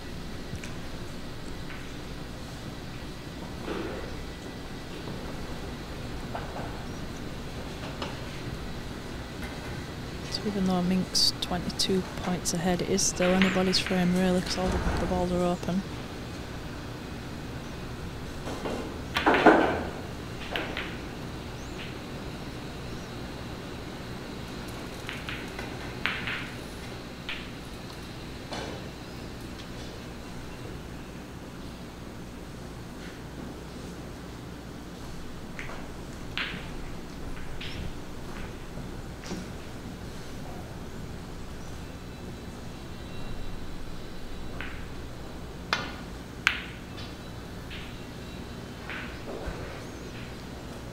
I think she might pot there.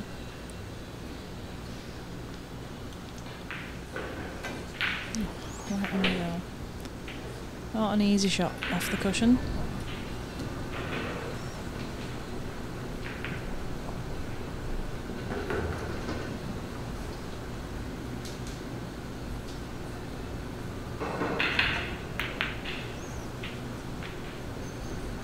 Head's still really nice there. Yeah, both these players, as well as yourself, you know, there's not a lot of movement. It's just that back arm that's Yeah. on a pivot, swinging back and forth. Yeah, if it, this is a good angle from the side on. So both Onyee and Mink have lovely techniques with the cue action, just going back and then into that set position and a finish.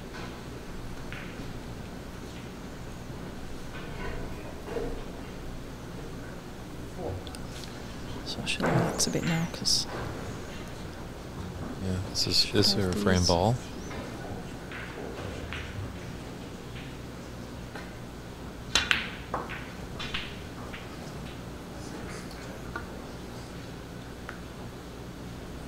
I'll clap for him. Maybe we need an applause button or something like that, where sitcoms have. Actually, I've screwed that a bit.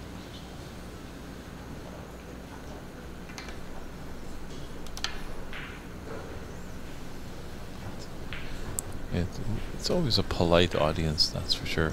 At snooker events, uh, not to diminish the pool side, but sometimes it can be quite uh, boisterous, Rowdy. rowdy.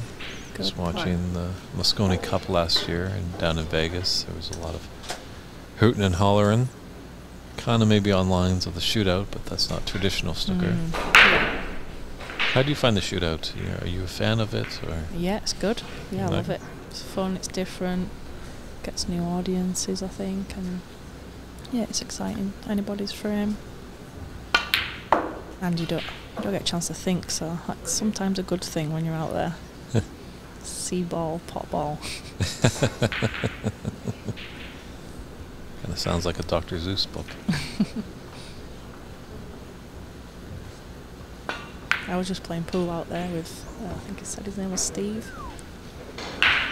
hmm and um, I was just potting him. Didn't know the cue ball was going or anything. And that's a concession there. So Mink is crawling back. She trails 2 1. She's going to take a little comfort break and we'll step aside for a few short moments. Well, Bex, thanks very much for coming into the booth. Thank you very much for having me in. We wish you uh, safe travels all the way back to uh, the lovely Isle of England. Thank you. And what's that store again? Let our viewers know. Cue Sports Yorkshire. All right. The website is Cue Sports Yorkshire. .co.uk and I'll see you guys next year hopefully. Sounds great. And maybe we'll see you in Sheffield in the spring. Oh yeah, you will. Excellent. Thanks a lot, Bex. Take care. Cheers. See All ya. the best.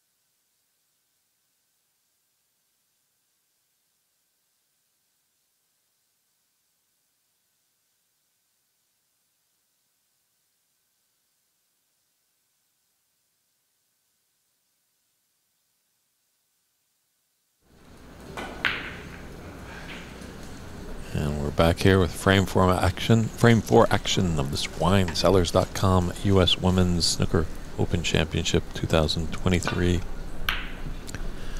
Good to see that Mink can put on a, a frame on the board, so it's kind of game on now. Both players have a frame there, so we'll see how Onyee rebounds after kind of a marathon of a frame. Really appreciate Bex Kenna coming in, spending some time kind of sharing her story as well, and uh, adding a little nice color commentary, which was nice to see. Bex, a player, definitely knows what shots should be taken and what should be avoided, so we appreciate her insight. Hope you enjoyed her uh, contribution to the broadcast.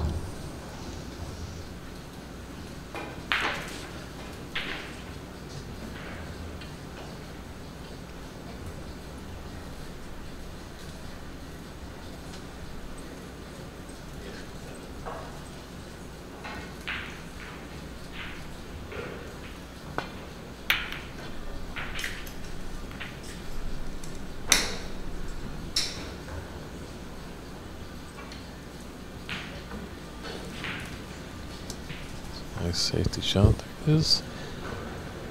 A red near that left corner. Is this going to be a, a tempter for Onyee to take on? Yeah, I think I think she goes for this one. Oh, just overcut it. Maybe the first few mistakes have been seen from Onyee. A little, Mm-hmm. little bit of a switch up of pace after that last frame. Yeah, it definitely would have been something if Onyee was to nip that frame. That would have put her up 3 nothing and still not have a frame against her. But I mean, she got off to about as fast of a start as you can get in this final. After the two, two frames, especially the first frame was pretty one-sided. mm-hmm, a half century and then a 47 break by Onyee.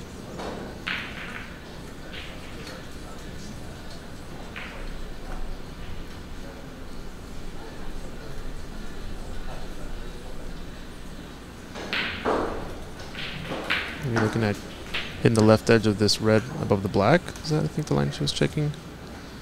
It's got kind of a channel. Goes right along these balls. Maybe escape up table. Opting to choose a different one. I think thinning the right of the red, just left of the pack. That also works. It's very common, I think, uh, at this point too, when the players start to uh, they start to block off sort of these balls right here by just getting to the left side of this line on their on their safety play. That way, when the cue ball is there, they can't uh, really escape off of the easy side since the right half of the table's very wide open.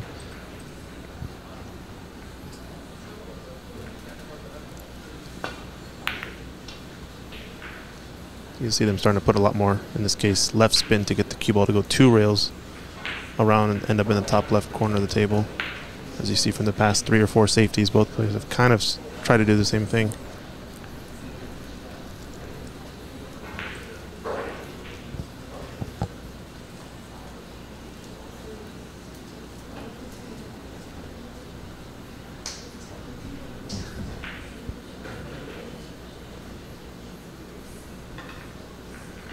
Yeah, Onyee might just be taking the left side of this red that's close to the top left corner pocket.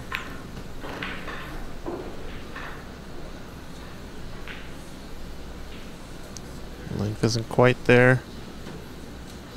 Just gonna run a bit long because there's that open red on the right side. I think it's another difference you start to notice between the pros when they're when they got the feel feel of the table. Very, very often they're getting all the way up tight to the baulk cushion, if not within a few balls length or, or right on it. But uh, when they start to come up short and end up amongst like the baulk line or so, amongst the colors, it's a little bit more indicative of maybe not getting the right speed or angle.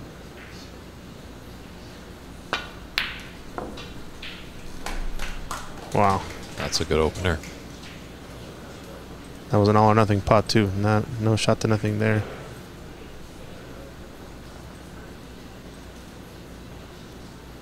I think actually she can get the black back on its spot. I think it will go to both top corner pockets. But it looks like now this pink will pass the red. Pink might be going to the black spot though, too, right? Yeah, we'll see where referee uh, Daly spots it, and you are correct. Christian has come on to the pink spots as when a color ball is pocketed and their spot is covered, it goes to the highest valued that is open. So in that case, the black spots.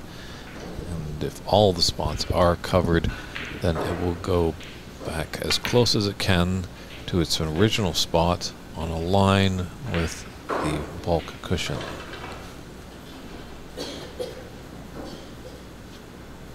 Sometimes those can be quite tricky, tricky for the referee, especially when uh, the pink goes down and the pink and black and all the other spots are covered, and there's a lot of reds open up around the pink spot. He has to really kind of work his magic to get in there and spot the ball.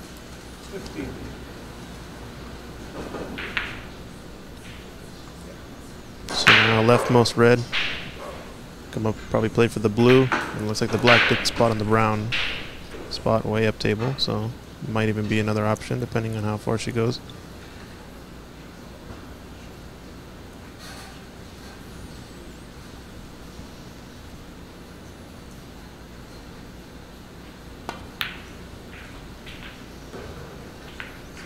Yep, two cushions toward the green or black, it looks like. Or even came a little too far, it looks like. Yeah. Yeah, a little swivel of the hips on that. Frustration slightly. Brown is on, but the problem with the brown is you're going to be spotting and tying up the black. Don't really want to do that. There is always this long blue. But uh, she likes the brown for sure.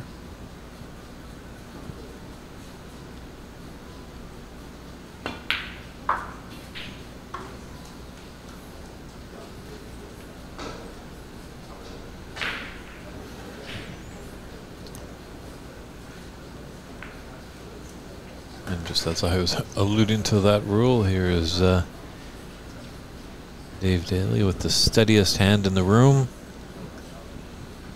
Sure that that round ball is exactly where it needs to be respotted.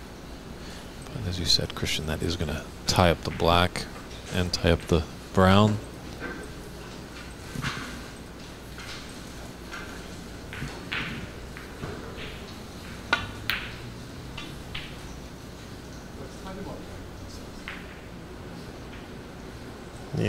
Do either of those balls go in either corner or middle pocket. But it looks like she's going to have to just play with the blue. Maybe deal with that later. Yeah, pink's Pink. not too bad. Yeah. Got a decent angle. Would have been nice to be a little bit higher. I wonder if she's going to run in or just kind of pick off these uh, open reds. Mm, decided to stun in and look at this pace. Don't think you could have placed that better with your hand. No. That's a, a fantastic shot there. Probably a, a good idea just to clean up these reds because the pink will go back onto that black spot. So it's nice to see that Agnes, or Mink, I mean, is finding some form in this final. I don't think anybody in the room really wanted a whitewash. They wanted to see a, a good battle. Hopefully, we can maybe get down to the decider, but we'll see. Time will tell.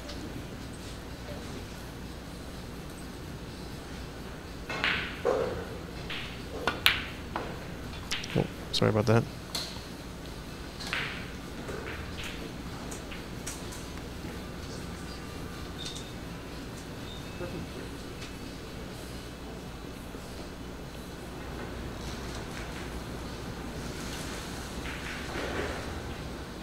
Yeah, and that red that's on the bottom of the pack there will go into the top right corner. So I think she's going to just maybe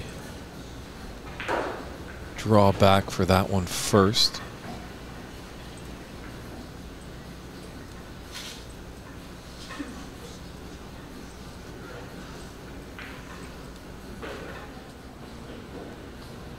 Yeah, definitely enough angle to run into these.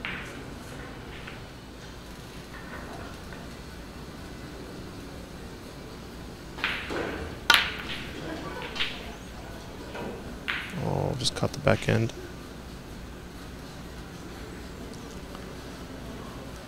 Mm-hmm. 14. But as we were alluding to last frame with Bex, just make sure of that colored ball. That's could be six valuable points as the frame grows longer.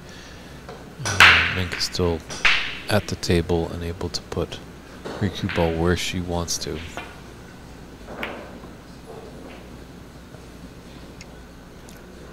Would have been actually really nice, I think, if she had gotten uh, a red and come up all the way ta- up that part of the table because uh, the way the black and brown sit, it's kind of a backboard safety if you can get behind it.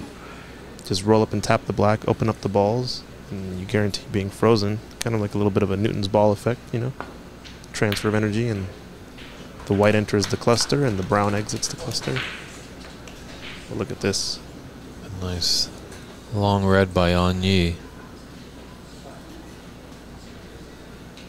Same kind of shot. Is she going to go into him? I don't think she needs to.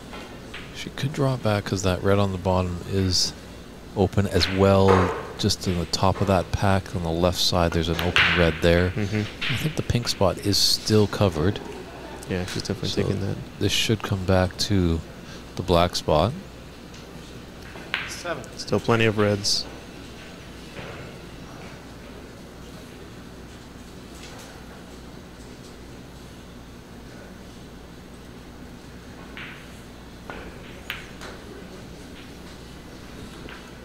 It's pretty good at that little drag shot. I've noticed that a few times. Almost looks like what you would call like a D cell, but it kind of just still gets through the ball and the backspin just slows it down. What it does is it helps guarantee that line is nice and straight off of the cue, as opposed to when you just kind of roll it and tap the ball. It can get a little weird if you don't hit quite center.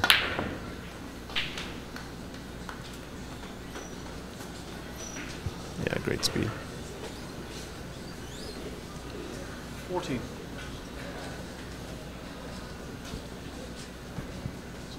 Potential for a steal here.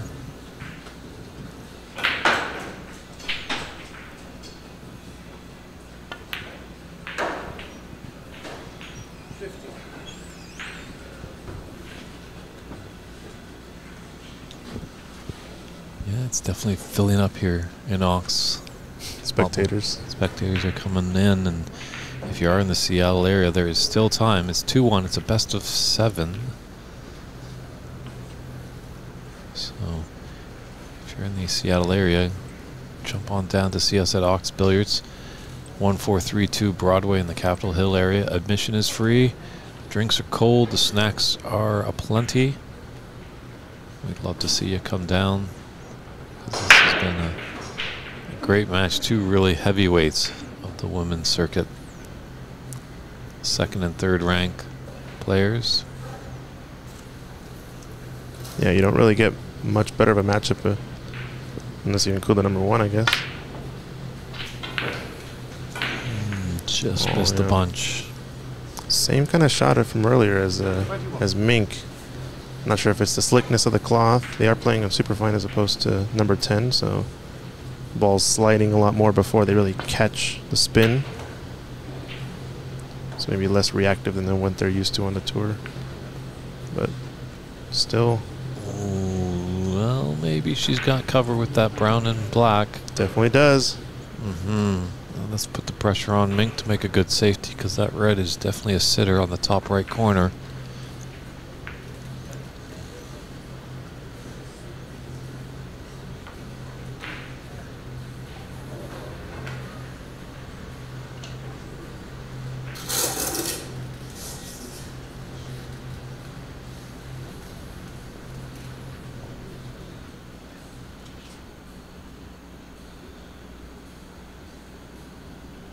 She just might uh, cross double this red on the left cushion, come back up into baulk.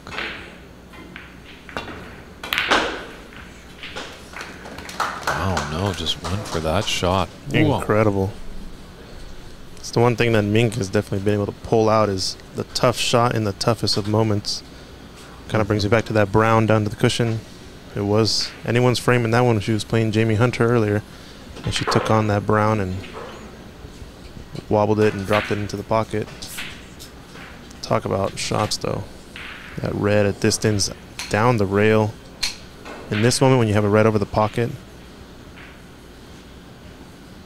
Incredible. Yeah, she's really turning around her uh, long body, and I thought that was going to be one issue that she might have, but she's been able to change that. There's no way she's missing this green also after that. She's going to hit the gap right here. If not, the plant is on. Ooh, she might have gone. Still, that's a bit difficult. Oh, this this top right corner pocket. I think she wants to take it in a back alley and rough it up a little bit. Has not been kind to Mink in this match. Just kind of eyeing the plant right there. The story of the tournament for her has been this corner pocket, right? Mm-hmm.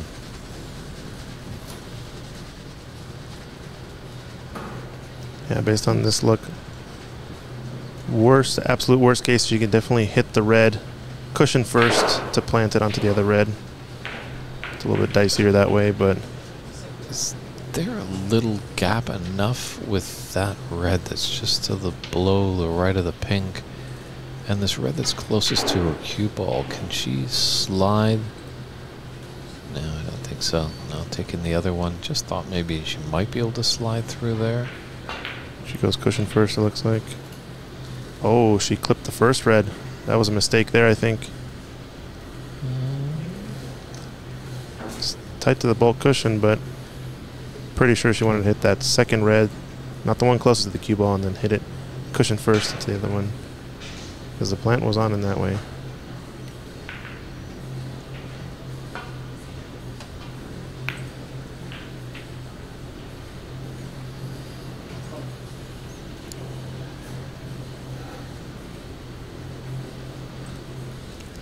Seems like this frame is going to get pretty close, so it might have to come down to this clustered brown and black.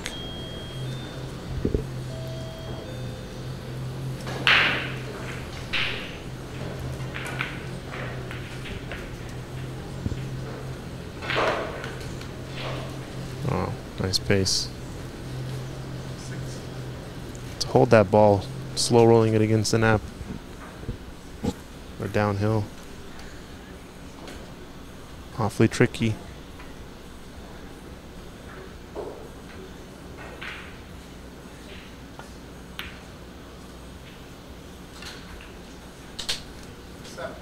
Yeah, the pink spot is still covered. You cannon these balls now. You play for the red up table. I think you just come uh, stun this pink into the side because you got that bottom red of the two into the top left corner pocket. Don't know. I think she needed to cannon them. But now Uh, the pink is going to come back on its spot. Yeah, no luck. 13. Don't think she'll take the plant on. Uh, Probably safety here behind the black brown cluster. It looks like. She could also take this pot on, but probably too aggressive. Unless she doesn't have full ball. Oh, she only has about a half ball contact. Don't know if she goes. She definitely doesn't go rail first. So I think it's a bit too far away from the cushion. So might be going offensive actually. Nope, just a separation safety. Nice shot.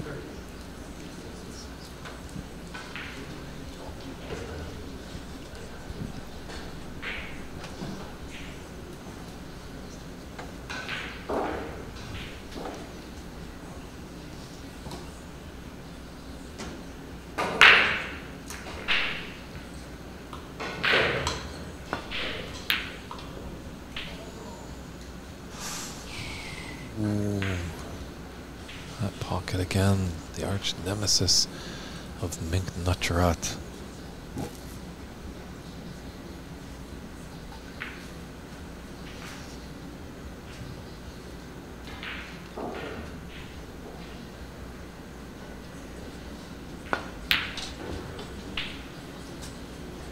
Both players struggling with that corner pocket.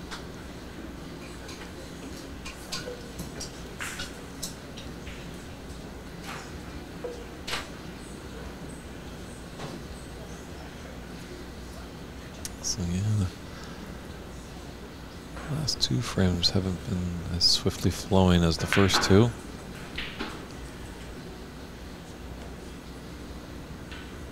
This is thin cut for Mink into that elusive corner pocket. Uh, just electing to play safe.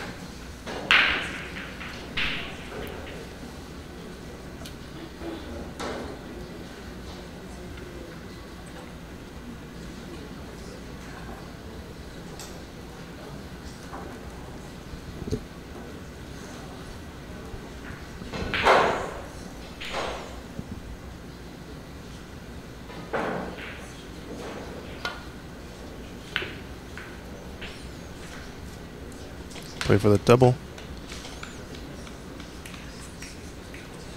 Guess in that way you always get separation. You don't leave your cue ball down by the rest of the reds. And now that they're kind of clustered up, you're really only playing to hide behind some other balls from only one target and not multiple targets. This might be the full ball snooker on all of them.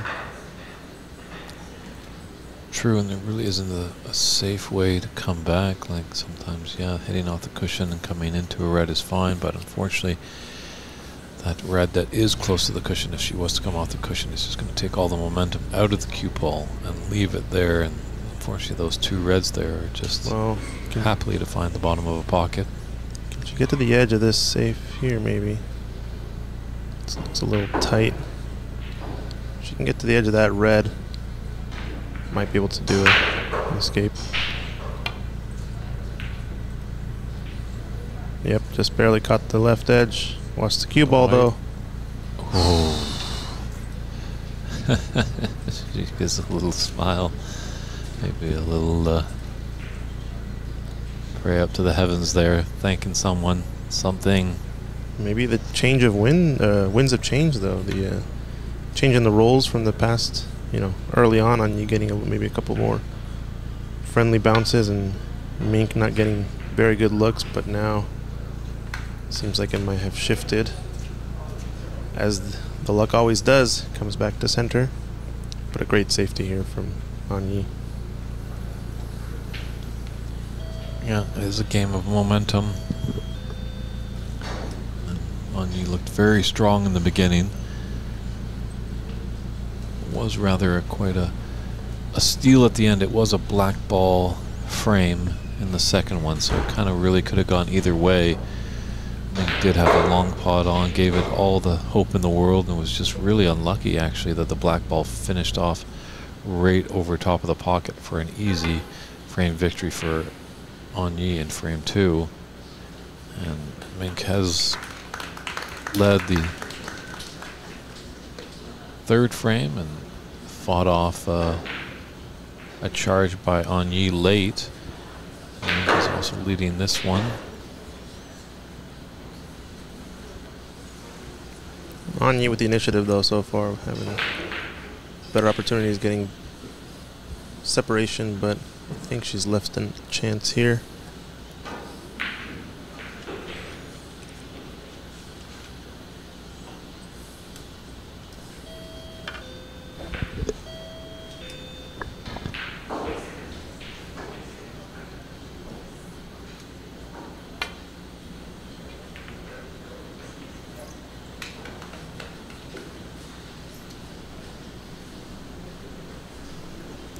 Mm, pulled up a little bit, giving a little sniff of the red there for Onyee.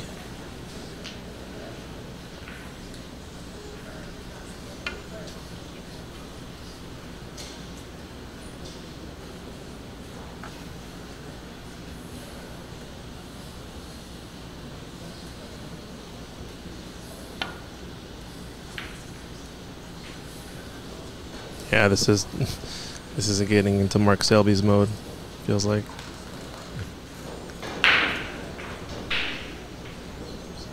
Yeah, we knew it was going to probably be a bit free flowing at the beginning of the match.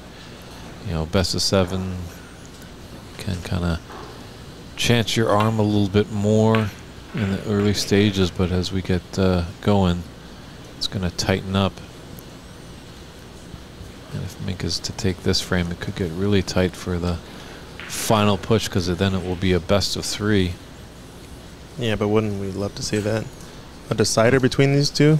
U.S. Open, second annual? My goodness. We're not there yet, though. Mink has to get this frame or Onyee. Still, anyone's. Oh.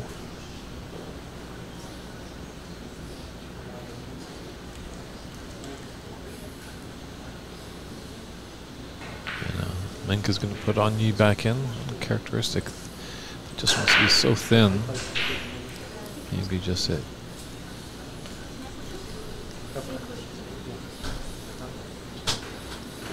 So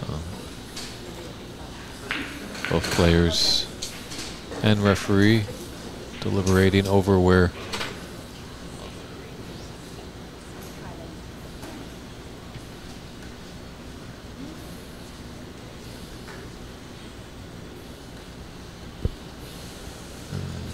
Daly just checking with both players to see if they're in an agreement, and they are. So play on.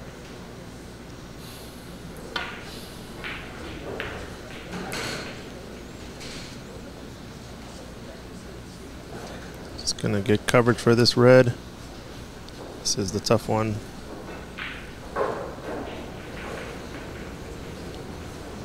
I think the pot is on. Depending on how the line looks, is it a shot to nothing? I'm not sure. Can she can she manage to not cannon into the brown and green with enough screw back?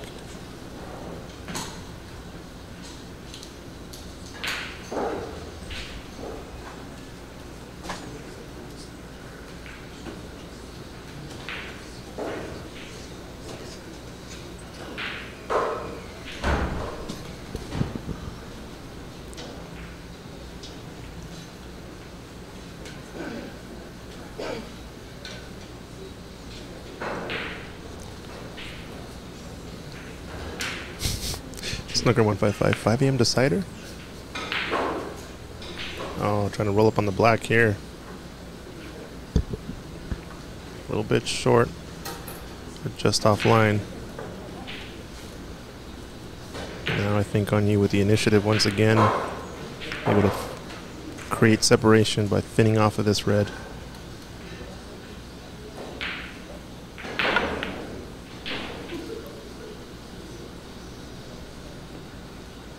Mm, I think she's gonna want that one back. Even though it's tight. Yeah. It's close to that top cushion. Not tight on it, but yeah, I think so. I think she would have wanted had that shot again. Just left an opening for Mink. Definitely a long pot. The full 11 feet, 11 inches.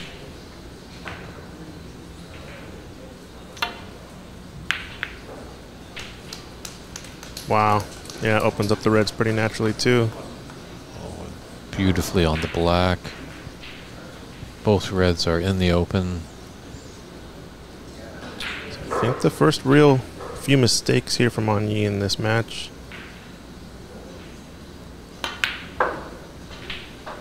Created opportunity for Mink.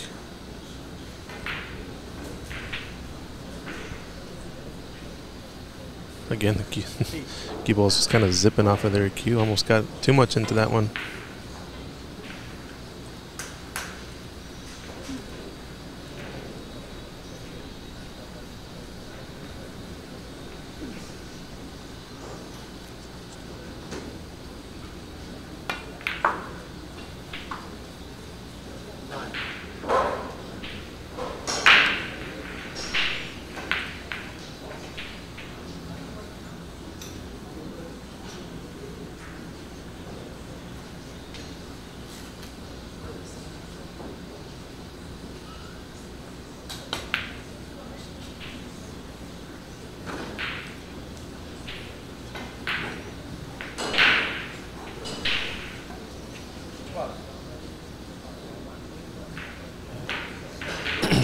26 in it. 35. Mink just having a look at the scoreboard. She needs one more color. That's correct for frame ball, right? hmm Red and color will do it.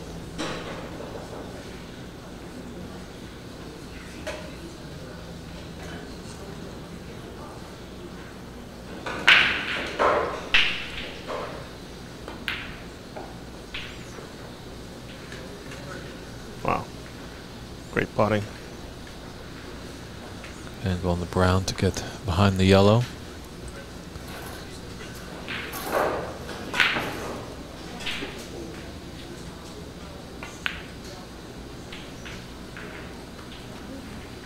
And that's going to be frame ball there. Do we hear an applause in the crowd? It is, as I was alluding to Bex, it's tough with the one uh, uh, scoreboard. It's tough for all people to see. And slowly and slowly, I think we're getting the education level up about the American snooker crowd. Mm-hmm. So, yeah, this should be uh, a 2 2 match with uh, three frames to go. And I think Mink has woken up for her from her uh, post lunch slump that she might have had maybe in the first frame. hmm And you just see sheer determination in the heart. Thank you for those nice comments, Miss Sutherland. She did a great job a few years ago at the Alberta Open when we were out in Red Deer. Uh, the payouts are it's 3,500 for the winner, 2,250 for second place. I think thousand dollars for the semifinal. Oh. This and there might be another prize for the quarterfinals, maybe 500, but also very lucrative. There's a hundred dollar prize for the high break, which Onyee has right now at one two one. However, in this final, if there are any centuries, our good friends at WineCellars.com will pay $500 for a century in the final to any player that does it. And if there is a maximum, we only have three frames. I'm uh, not going to bet we're going to see it, but you know, stranger things have happened. We have seen tournaments won on a maximum. WineCellars.com will pay $5,000 for that moment of perfection.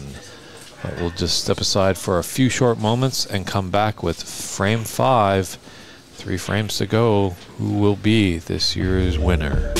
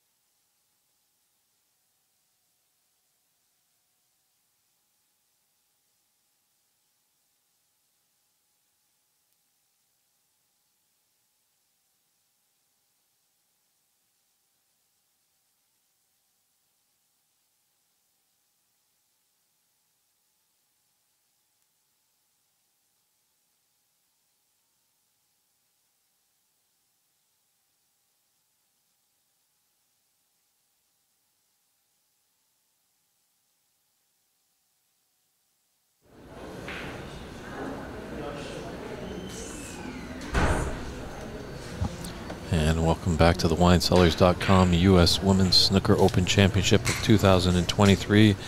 There is that trophy that one of these women will be holding up in a few moments' time. A very important fifth frame here, as the winner who wins this will be one more frame away from hoisting that trophy high above their head in victory and honor.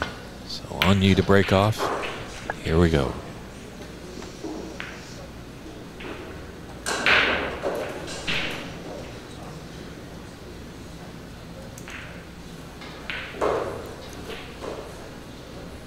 Leveled up to 2-2.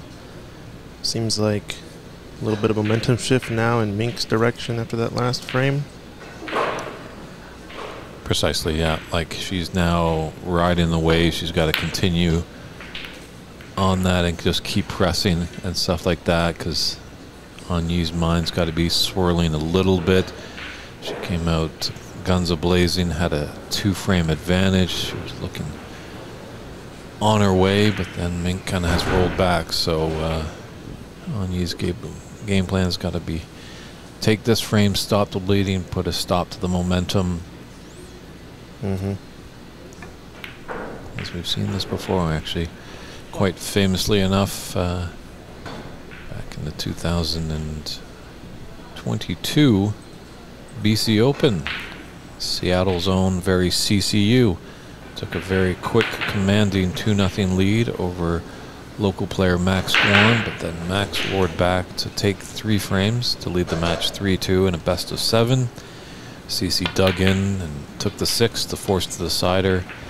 And then just uh, Max Swan just too strong for the Empire Billiards owner CCU. Mm-hmm. And Max Swan became champion. So. Uh,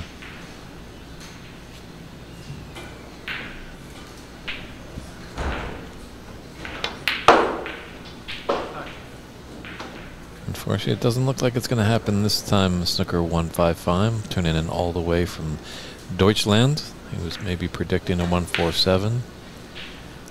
Thank you for your kind words on the, the lovely trophy.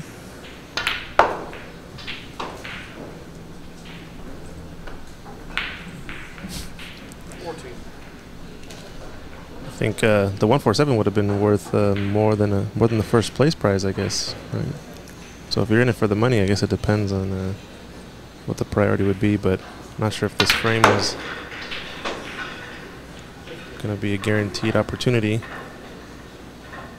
Oftentimes, you know, you'll ask most players that they want to take the frame win as opposed to getting the, the maximum.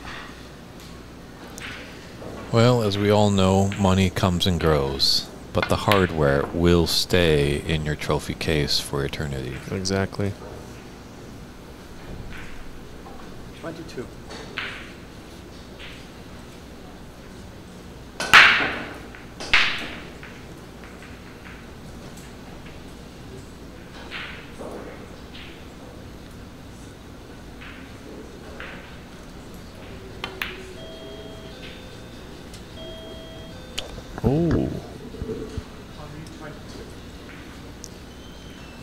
Another, another uh, unexpected miss. Yeah, Onyee was really coming out in this frame. Wanted to stop the mink train. Fortunately, it's a bit tricky now. You can't go uh, down to the business end of the table and clip off a red and come back to baulk because you've got this red right here, but uh, I think Mink is just pointing last that spot on the baulk cushion that she wants to hit to roll and get behind the yellow.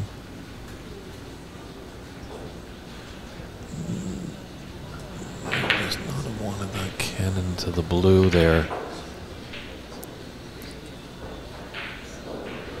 Yeah, looks like this red is on.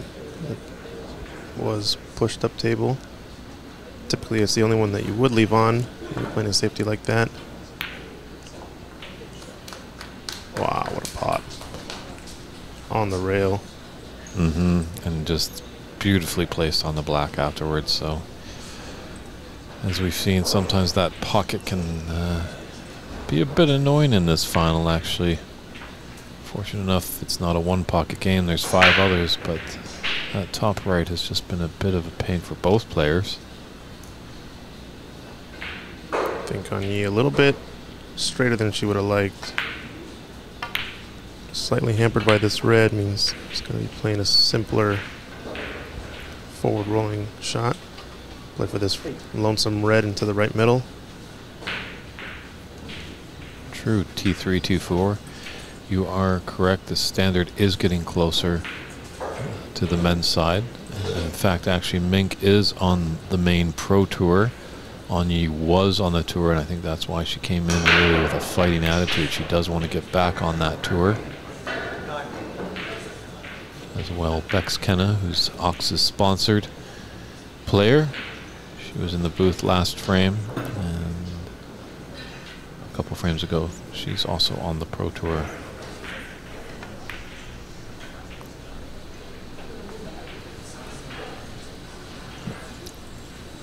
Yep, it's uh, it's quite a great standard we're seeing with these two players. That's for sure. I think they would definitely give uh, most uh, men on the tour a run for their money. It's important. It's a it's precision game. I think Christian and I have discussed as well through the Mhm. broadcast this weekend that sure maybe men just because of their physique they might just be able to have a bit more of a powerful shot. But if a powerful shot doesn't go in, it doesn't really help you. Mm-hmm.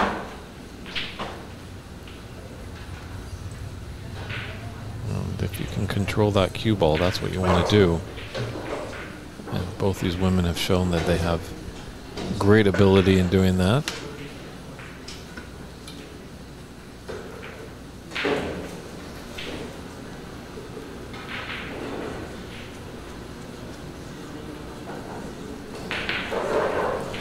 And Onyee just uh, retreating to her case to get her extension. Players now have all the facets in that case from the telescopic extension, the mini butts. Some players even travel around with their own rest. It's a Mhm. far, uh, far jump when it used to be.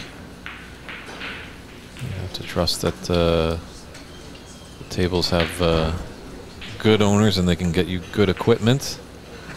And here we go, a tug of war. Here's a first. That's a classic view right there. Holy. I hope Matt caught that one on camera.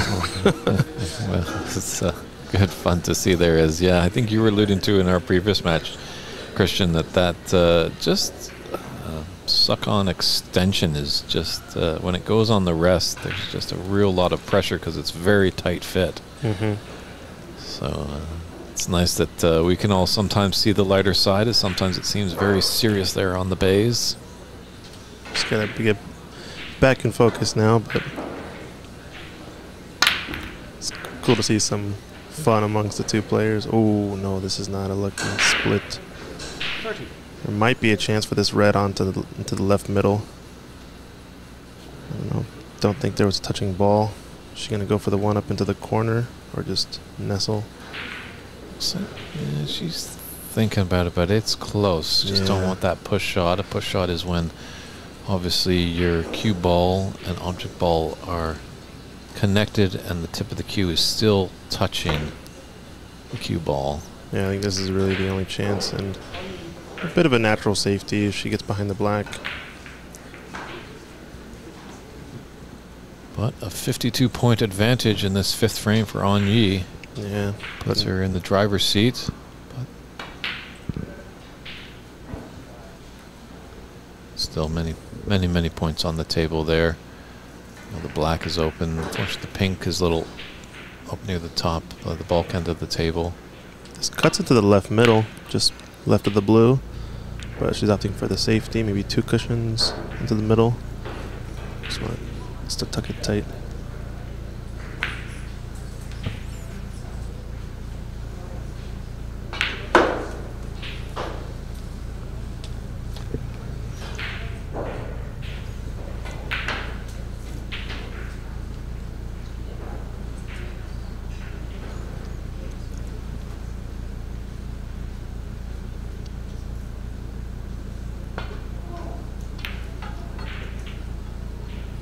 Oh my goodness. brilliant. Talk about a pot there. That might be part of the match so far. Granted, I guess that one other pot from Onyee or from uh, Mink in the previous frame down down the left long rail was also pretty pretty high up there. Yeah, unfortunately, it's not nicely on a color, but uh, take this green and get behind the brown. Could have gotten a little bit tighter maybe, but still looks pretty safe. Is there a gap here to get into this red? Yeah, that's the one thing that's just yeah tough to see from our vantage point, from the cameras, even from our broadcast booth.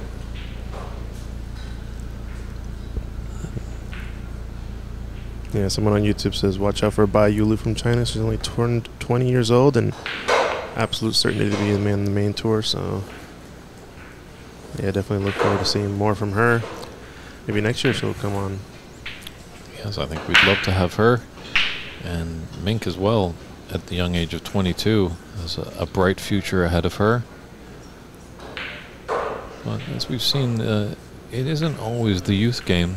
Uh, on the pro circuit, there has been some men that are uh, getting up in their age in the 40s. Mhm. Obviously, that's not that old, but uh, they are still able to win some tournaments. So it's not a youth-driven game. Obviously, when you get older, things do deteriorate, like your eyesight. But there is uh, equipment Oh. out there that you can purchase to improve that. I think she might have gotten away with this one. That red that was running loose just managed to bump the one that was snookered by the blue. Might be a plant here with the two reds right below the pink. The Yeah. only troublesome is is there's a little bit of distance between the two reds. It's a natural escape though to go up to the baulk end. I think she's gonna take it as a two-way. Oh, did she did run into that red? So yeah, would have would have sold a shot out probably, but great plant there from Onyee.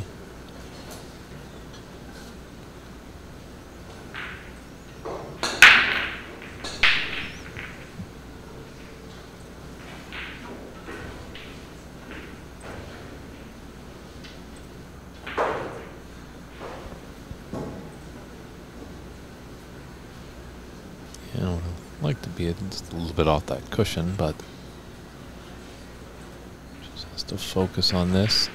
Because when she runs through, she should have one of these reds to the top left corner.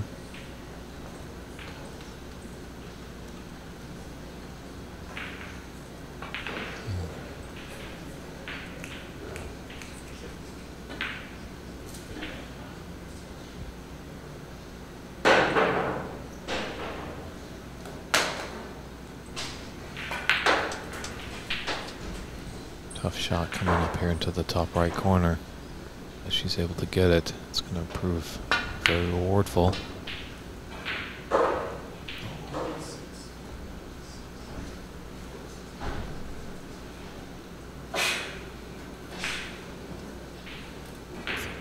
Just rattling those draws once again. The top right corner pocket strikes again. So many tournaments that I've done, and you always find one pocket just really doesn't want to accept the ball, whether it's the top right or left, or one of the middle pockets, or a green or yellow pocket. One, one, one just has to be a little bit of a nuisance.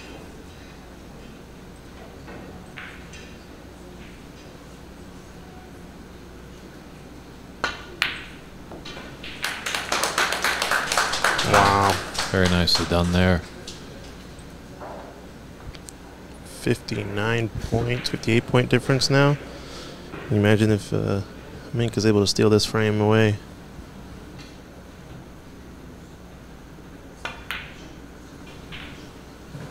Yeah, it would be huge if she was able to take that ran just a little bit long. I think she wants to be high though on the black, no? To get enough angle to come up table. She could end up low below it, I guess, too, but this might not be as bad as it looks. 67 points and 53 in it, so it's definitely there for Mink. So she can get away with not. She doesn't need all blacks with the reds.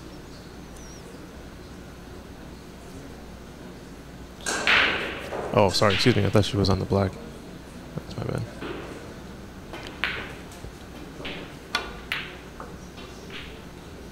Yeah, so definitely have to move cue ball here, but not too bad. She's on the blue now, I realize. Yeah, you can stun down for these reds in the middle. A little bit, maybe. Just a little tight to the cushion there. She might have to jack up a little bit. She might use that cushion.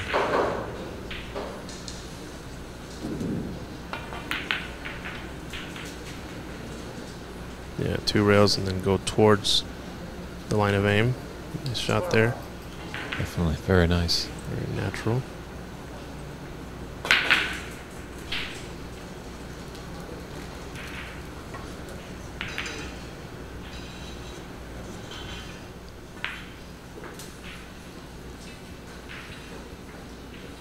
Short screw back to the black.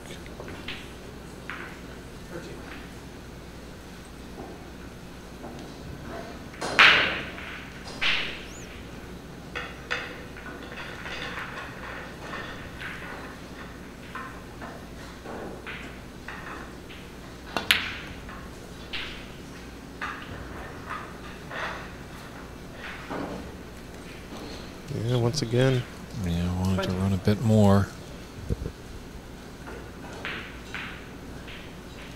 Still pocketing the ball, cleaning the heart, just getting a little bit trickier than she wants in the positions. Not playing for blue or pink. 21. Yeah. Nice recovery. Does this this green cluster the red? Or is she thinking about playing? Maybe she's thinking about playing the screw shot if she has enough angle.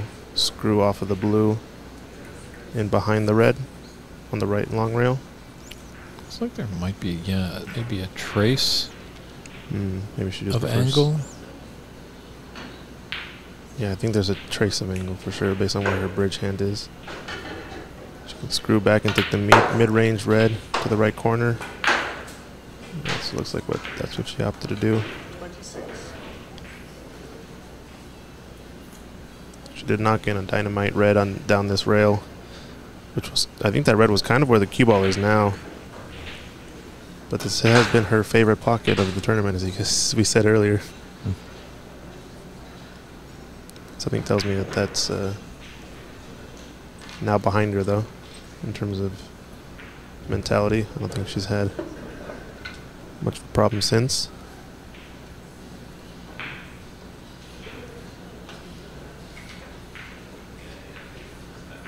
It doesn't have to do a lot to get onto the black.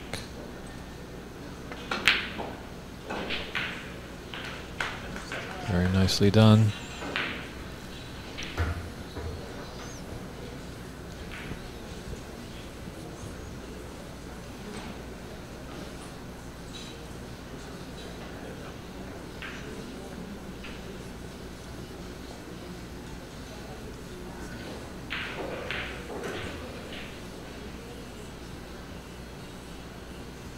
Big screw shot coming. Yeah, look at that stroke. And a slight side to send it up table. 34. Great shot. 25 in it, 35 on the table. Mm, she's got a stretch out on this one. Go get the extension. Looks like this red does go into the, to the green, or the sorry, the yellow pocket, top left part of your screen. So probably see her play for pink or blue next, maybe even yellow. It's like she's almost even got a mini mini butt. Actually, it's the, Mm, the size of her palm there. Usually, uh, the mini butt's a few more inches than that. maybe like a little three-inch butt. Right?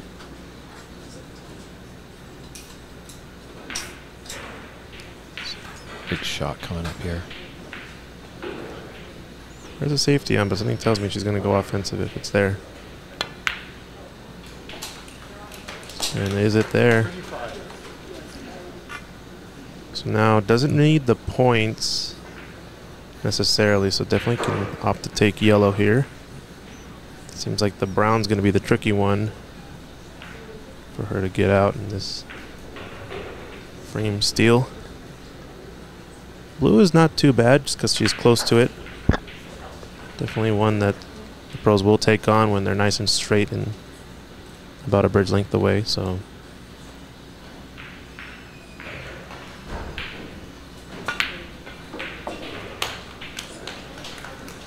yeah, great pot. Now it's gonna be all about the brown. Mm-hmm.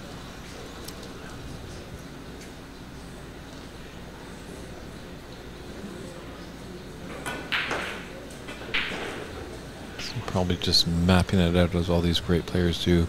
Three shots ahead, so she's seen obviously what she needs to do from yellow to green and then green to brown. Looking at her position. And then when it's time to take on the yellow, that's all she'll be focused on. Trust her technique. Trust that uh, she knows the right spot to where to put it. Her cue ball.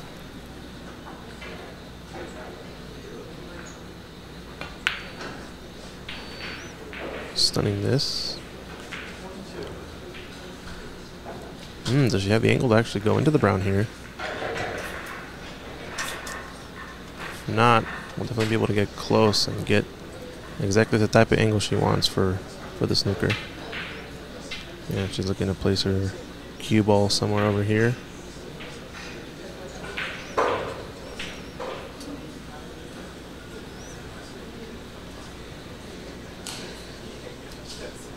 So break of 42. Most likely ending with this green and probably playing the snooker on the brown. Just trying to figure out what angle she likes.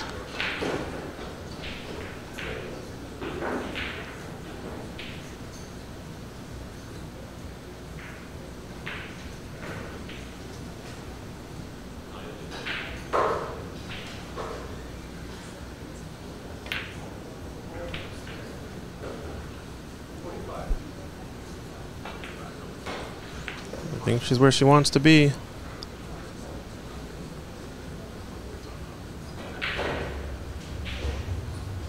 Don't know if the double. I don't think the double is on into the middle.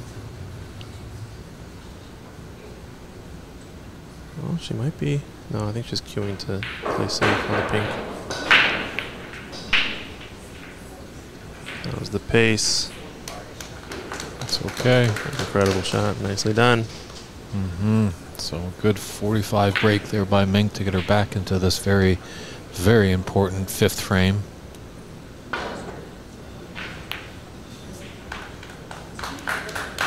Good contact, but it's going to leave a pot on, I think.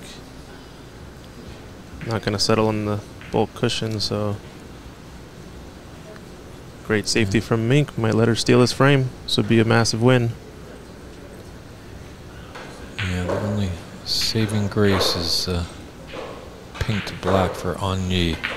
It's going to require some work from Mink. Watch out, cue ball. Looks good. It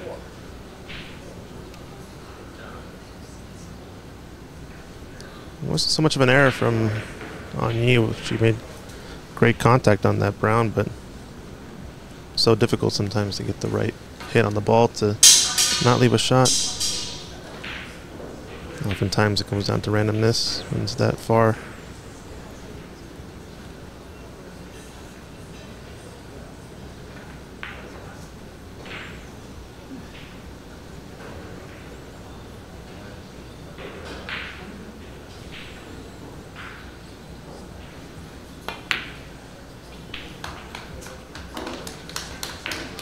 Done that nicely.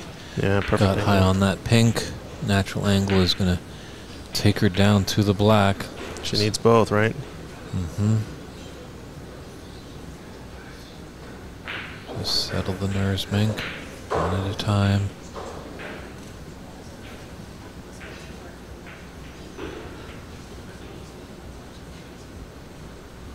Where is John Virgo when you need him? That's right.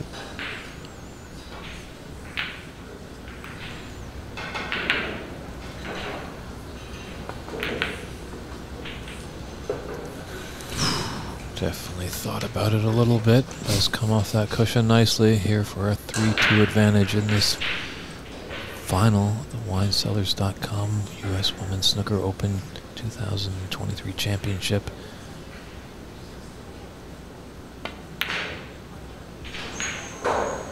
Oh, it oh, rattled. no, but doesn't oh. leave a shot.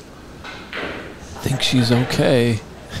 Wow. Oh, she makes that so many times. Nine out of a ten, that's a shot that goes in for her. But I guess that one, the nerve sometimes, the Wow. pressure might have got to her. Drama, indeed. I thought she would shoot that at pace. I was surprised the pace she shot it at. Holy. So her second black ball frame, but this one paramount in importance as opposed to the first one back in frame two.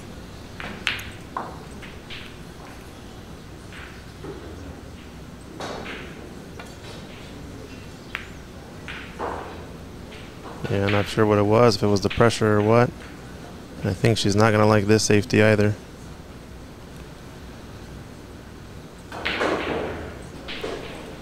Yikes. It's got a chance for Onyee. This pocket has not been kind. Let's put it in at least with a bit of pace.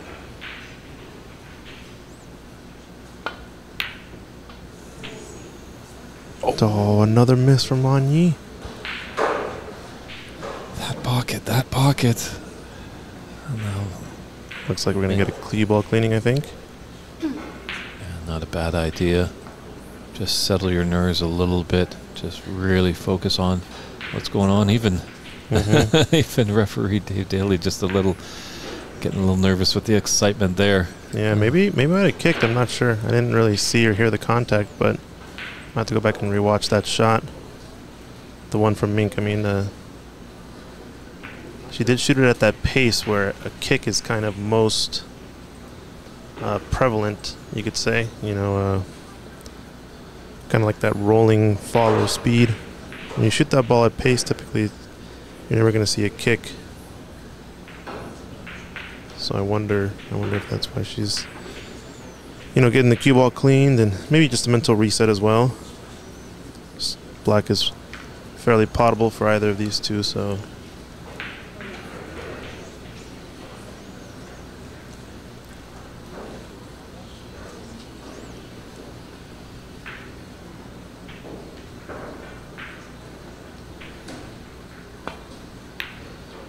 and there's the There, black. and it's out of there. Wow. What a steal there. Onyee came out guns ablazing in that fifth frame. Looks like she might have taken the advantage, but Mink came back with a great 45 break and just hung in there. And she takes that fifth frame, so she leads 3 to 2 in this best of seven final at the WineCellars.com U.S. Women's Snooker Open Championship of 2023. And as always do, when we are on the verge of a champion to be crowned, we'd like to go around and give a good thanks to all the people that helped us out. Where else to start but Mandy Fisher, who has done so much for the women's game, is the president of the head of WWS. It's just fantastic what she's doing and building up the standard of all these great players as well. Diana Schuler and Matt Hewitt have come over here and run a fantastic tournament. They did a wonderful job last year. We're great to have them again doing all their strong work. They're unseen, but their hard work and dedication is completely admirable. Jason and Diana Miller at winecellars.com. What can we say? But thank you, thank you so much for your support and sponsorship throughout this tournament. Littman Lights, Joshua Hume, Sarah Kenneth, Srikanth. Srikanth, thank you. Potpourri, thank you for your sponsorship there. And Dave Daly, our TV referee, who has been working tirelessly all weekend long, has just done a great job, as well as Vinit Desani, Adam Horacek, Horchik, Yeah, Horacek. Horacek, uh, doing the roving referee as long as well as Mike uh, Dominguez. He has been doing some rover refereeing abilities as well. Jamie Miller here at Ox has been taking care of us, making sure we're fed and well quenched with thirst. Really appreciate that. And all the guests that came into the booth provided some insight, gave us a little tidbit of their story. Kathleen Stanley, Corinne Lyson, Diana Schuler was in here as well as tournament director talking about that. We had a nice little conversation with Onyee and as well with Mink Nutcharut. A little bit of a language barrier there, but they definitely uh, got through it and we had some good laughs and some good fun. Marianne McConnell coming from Canada after a long absence away from the tour, a 1984 runner-up in the World Championship final. Francis Chow, Bex Kenna, and Jamie Hunter, last year's champion in the booth.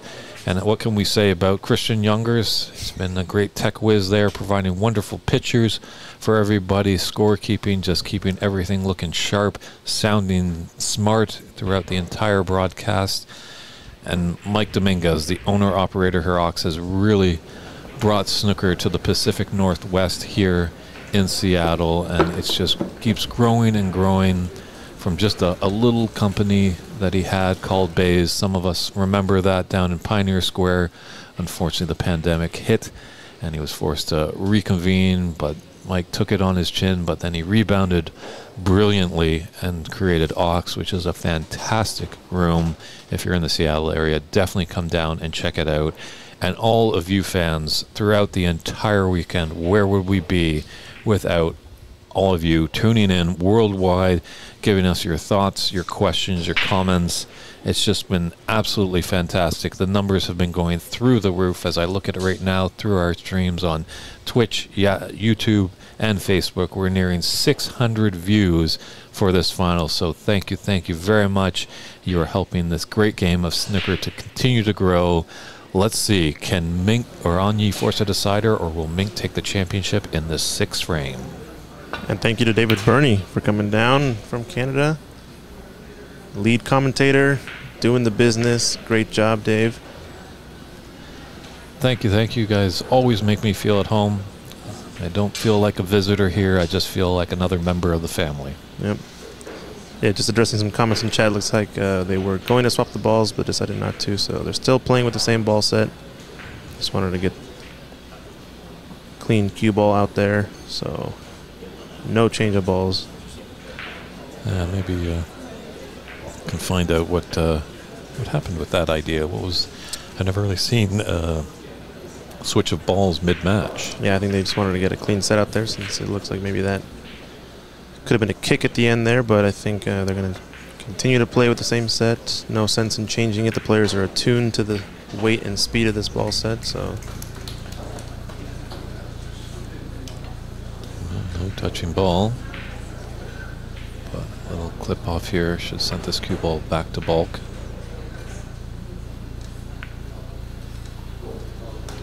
Uh-oh. Uh-oh. I'll raise the hand as uh, Onyee apologizes for that rather fortuitous flick off the brown to create a snooker behind the yellow. This is in, we are here at Ox Billiards in Seattle, Washington. For those who are asking.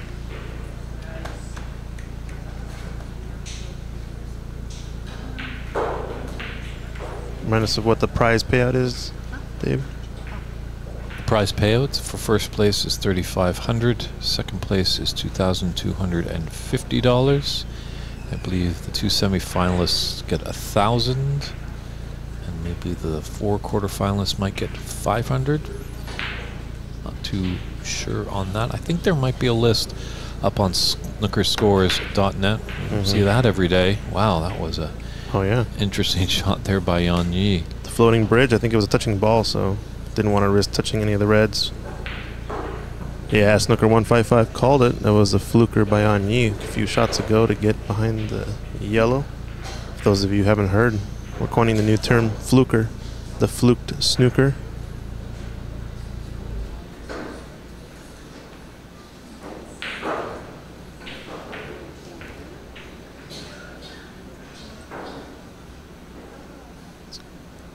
Don't count out on this one. Seen that pot go in multiple times in this tournament, so.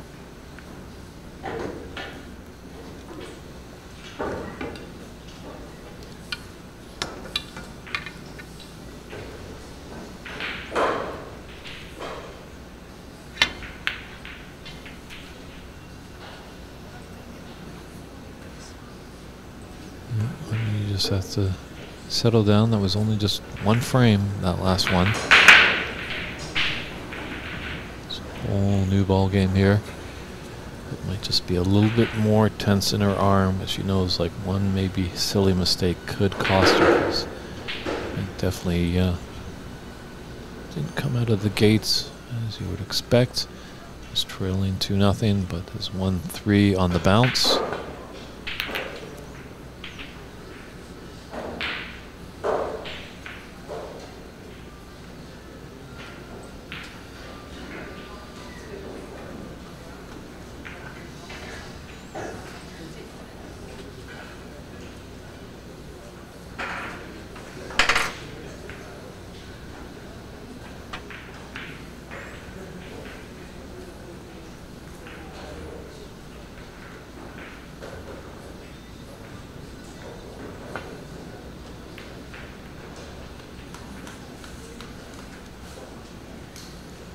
Very nice safety shot there. Definitely had to be mindful of the in off when you're flicking off that red and going near one of those top corner pockets.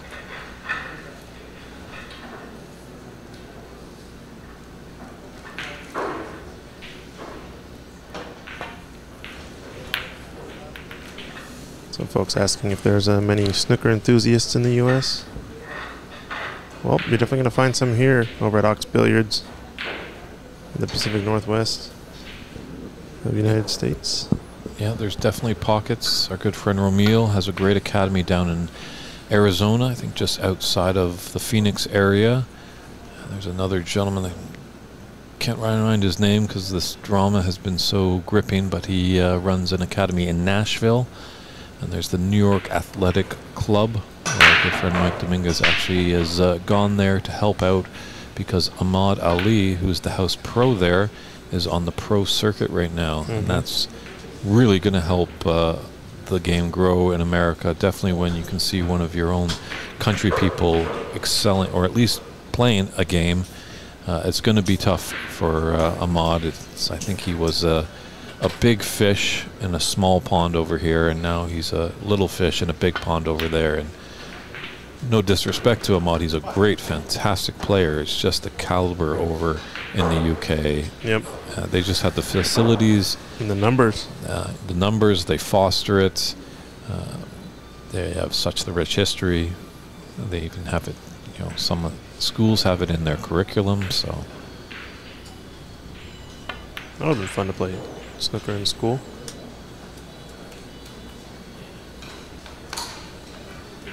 So Onyee once again coming out strong out of the gate in the frame. Needs to keep this going.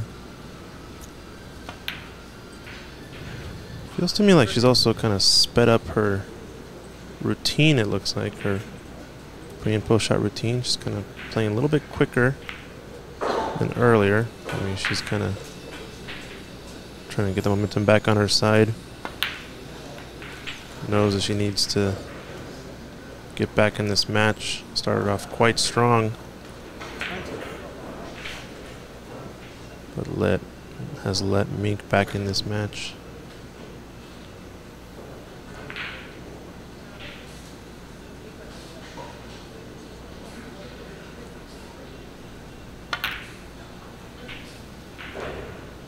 Ooh.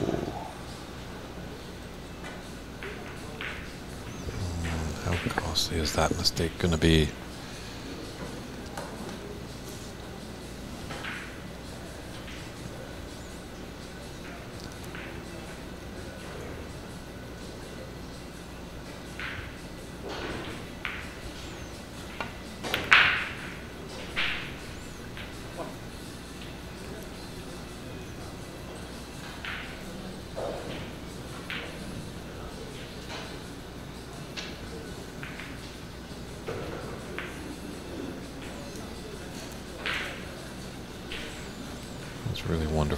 this tournament is. I think they've had about 15 competitors. Some knew each other from last year's tournament, but there was also some new faces. But, you know, quickly all these women became great friends off the table. and they're going to look forward to seeing each other in the future, sharing some great stories. So really, really nice to see.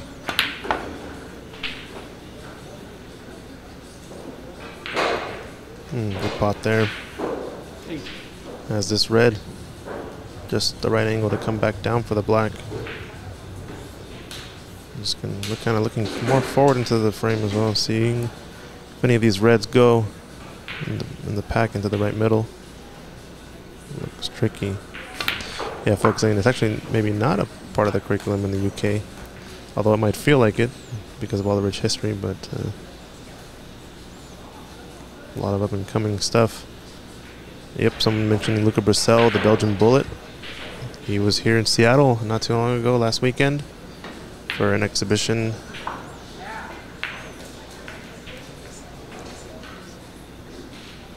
Amazing, amazing cueist.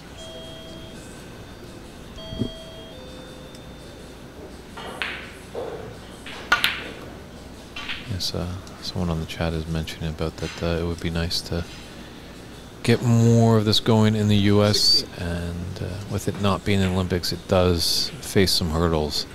So that is that would be a huge win for the game of snooker if it can be in the Olympics, because then it's on the global stage. It would get publicity. People would be able to see it see what uh, different countries can perform on it. So uh, when we get close to Olympic bid time, ring up your local IOC member and plead, beg, blackmail them. I don't know, whatever you got to do to try and get uh, snooker in the Olympics. Wow. Amazing shot into the left middle there.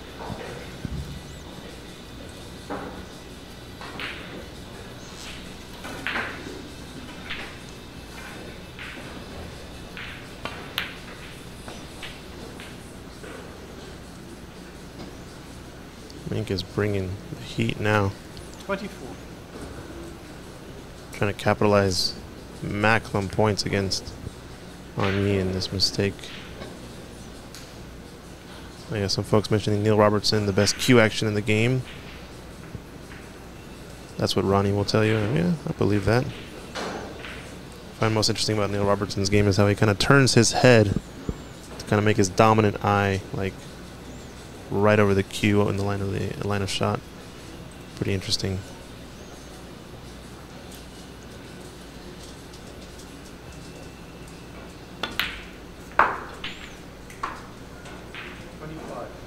Bit of a high black, but should be okay for her. The, there's a red on in the middle of this bunch.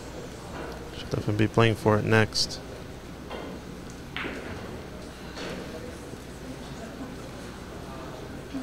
Yeah, I think the, there's that kind of diagonal line of the four and then the two, and I think the second one from the top of that four should go in to this top left corner pocket.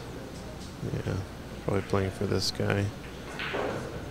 Next, I imagine. Oh, she decided to go into the bunch. 32. So now was going to take this up into the green pocket, it looks like. It's fairly natural that high ball run into the pack. So I guess didn't fancy that red.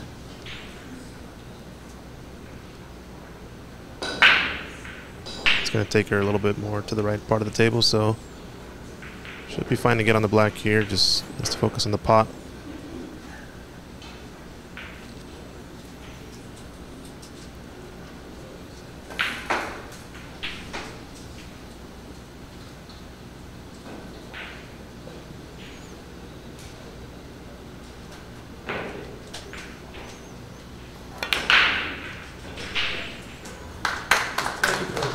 Great pot. Amazing pot after amazing pot for Mink. Mhm.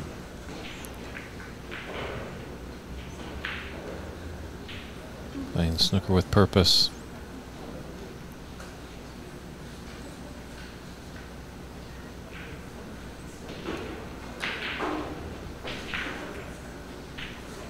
We're probably going to be playing for this area right here. Imagine. Shoot the red down to the right corner. Also has an option for a red to the right middle. Yeah, she's so good at those little stun shots. Getting a little close to this red. In the left long rail, so going to be a little bit elevated on the cueing, but if she has the right angle, she can just float this down. I think she's going to have to stun over, actually.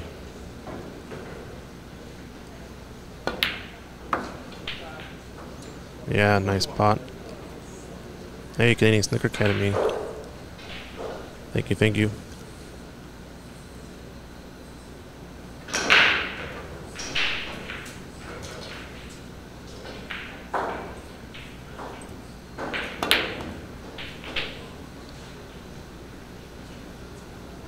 Now I think the cluster opens up, right? 48.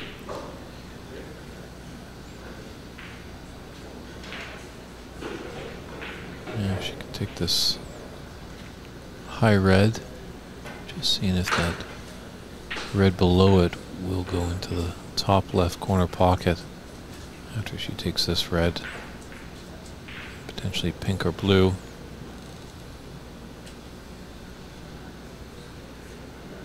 Hey, Chuck, thanks for the nice comment. If you guys do like the stream, like and subscribe and share it out. This match isn't over yet. It's hands, and uh, that's what any athlete wants when they want that chance to win. They want to have uh, the ownership of it. You can't really have your opponent give you the victory. You have to earn it yourself in this game of snooker. Wow, what a pot. Very nice eye. I did not see that one in the middle. That, that really opens things up for her, too. Oh, I thought that's what. Yeah, I thought that was that's the one you were talking about. That True, opens up the cluster, right? Yeah, I thought she was going to go maybe for the high one. Didn't know that went through, but uh, She's been making that in the middle all day. she's got the best eyesight, that's for sure. We're up in the broadcast booth. She's right down on the table. On a break of 56. After the first real opportunity in this frame. From a quick start from Onyee, 20 break. It's going to be tricky though. These two red don't really go into either corner pocket that are just above the black. Yeah, it looks like these guys are going to have to get cannon into them at some point. Granted, one of them, they both go in the top left corner pocket. Or, sorry, left corner by the baulk bulkhead, the yellow pocket.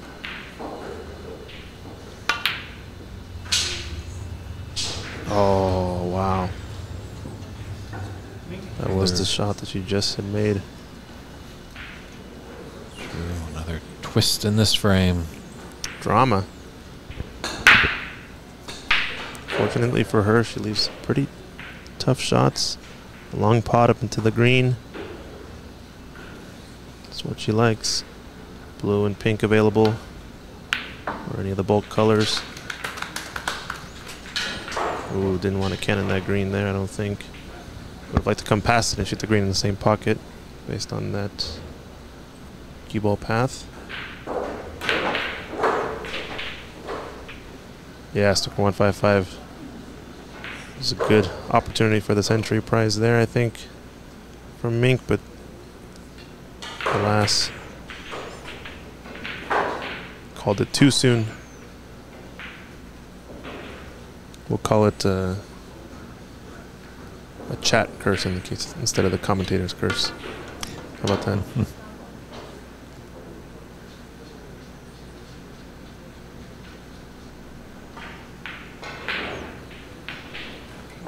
Playing the roll up off of one cushion. Very nicely done.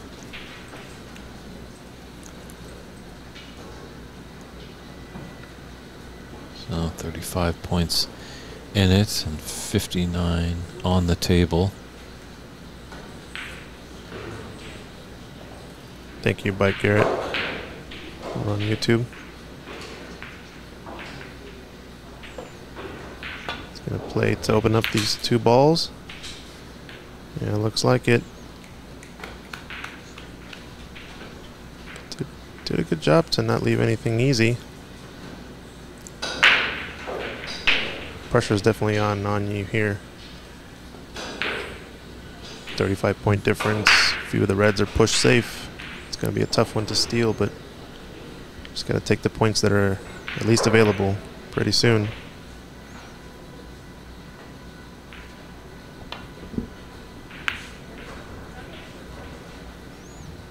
Oh, she likes this brown though. It's in a good spot for a snooker. Very nicely done. Tap on the table from our opponent. Yeah, as we heard from Onyee when she was in the booth, her focus is taking one shot at a time. Sorry about that.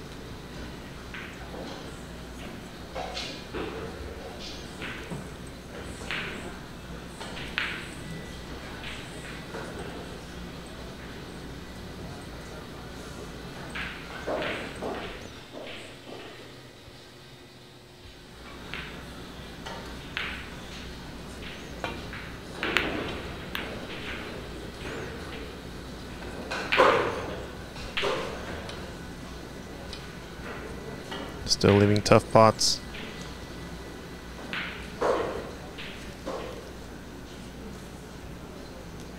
Yeah, Candy's Corner, if you want to send us a message, we can follow up with that.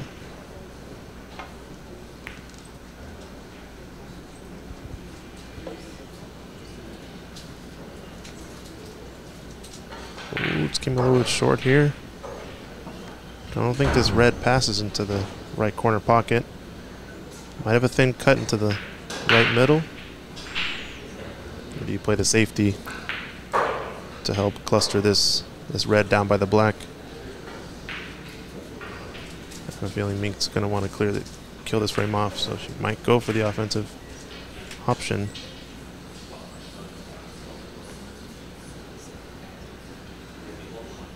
Yeah, she'll be weighing all of her options there. Obviously, she'd like to get this frame done and dusted to take the championship. Doesn't really want to force a decider because sometimes in a decider, all you need is one chance. Wow, that red was on. Incredible. Incredible stuff. Yeah, her long potting has really turned around as the tournament has grown on. You can go ahead, email at uh, Christian at Ox Billiards. That email, Christian at oxbilliards.com for info about the cameras. Wow. Oh, she's checking the score, looks like. How many reds needed for a frame ball? Snookers required situation. Looks like 36, the difference.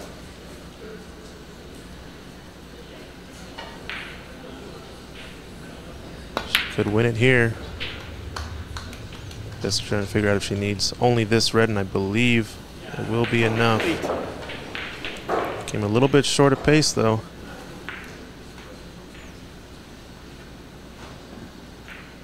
Yeah, this red goes down. Should be ahead by 44, Mm-hmm. and 43 will be on the table. She'll also be on a colored, so We believe she wants to make another color at least, though, because you better believe Onyee will be coming back to the table if there's only one point needed. But don't know if she's going to get the chance here.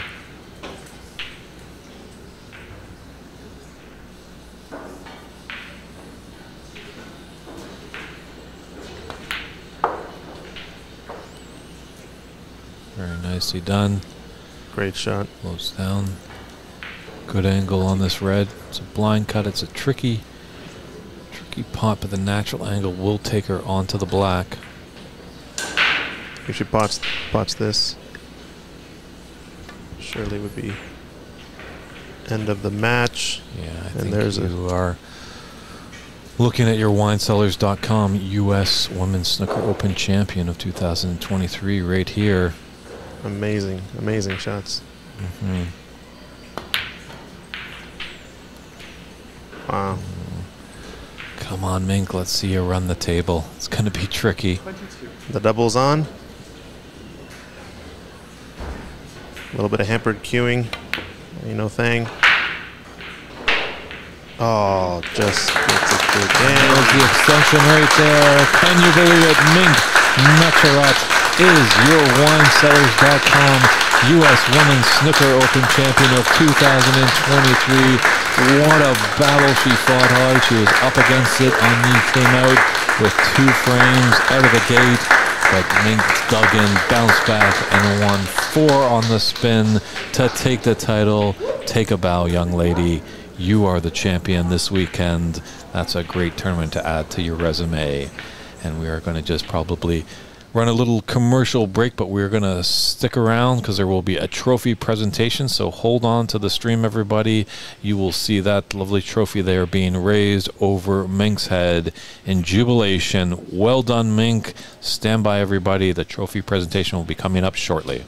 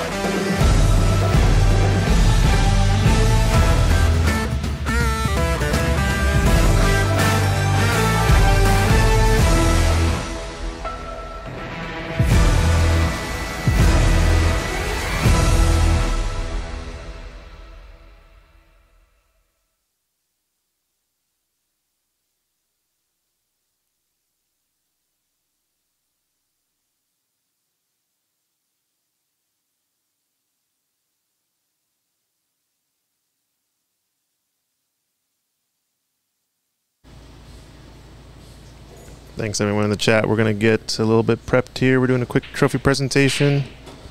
If you guys want to stick around and watch, it'll be a fun time. Don't go anywhere.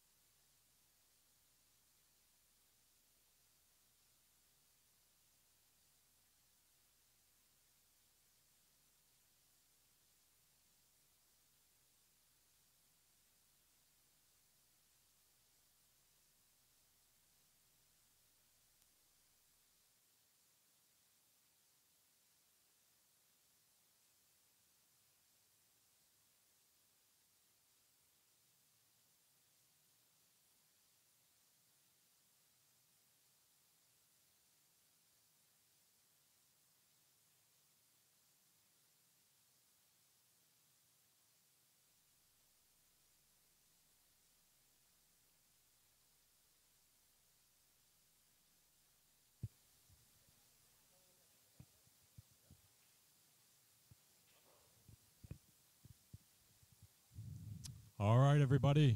Can you hear me in the back? Can you hear me in the front? What a championship we just had all week. That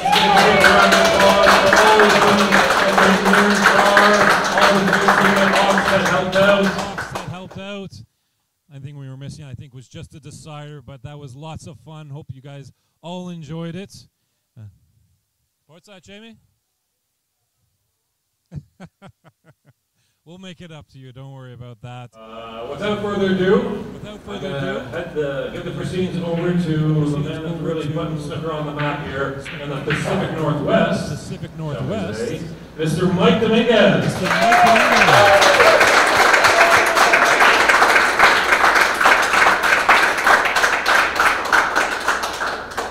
Thank you, thank you everyone for coming. Uh, this has been an amazing tournament, something that we've been building towards year after year. I first want to thank our ref for three days straight, Dave Daly.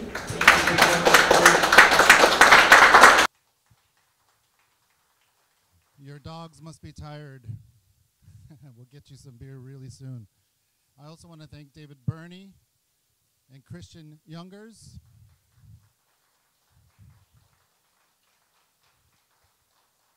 Yeah, without the without the voice of David Burney telling us what's happening on the bays, um, it wouldn't be the same. I mean, he- he's, a, he's the voice of North American snooker. And then, of course, the wizardry that Christian does with all the IT behind the camera is just amazing. So we're very grateful to have them on our team.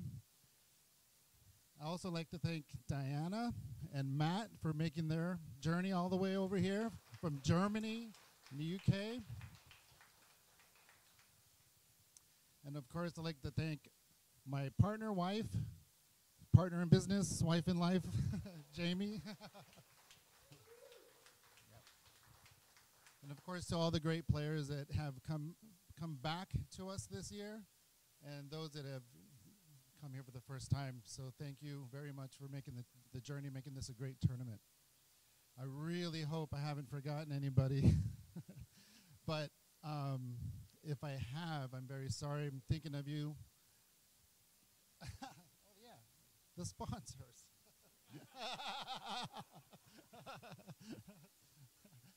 So, Jason and Diana, if you're listening or watching, thank you very much. WineCellars.com, the title sponsor. Thank you, thank you. And of course, Littman Lights that are illuminating these beautiful tables. Thank you so much for your sponsorship as well. And then we have Mr. Yoon. Is Mr. Yoon still in the room? Well, thank you for being a gold sponsor. And they have Mr. Srikanth. Is Srikanth in the room? Thank you as well. If you're watching on the stream, thank you very much for your sponsorship. We really needed the sponsorship to make this what it was, and you guys came through for us. Thank you so much.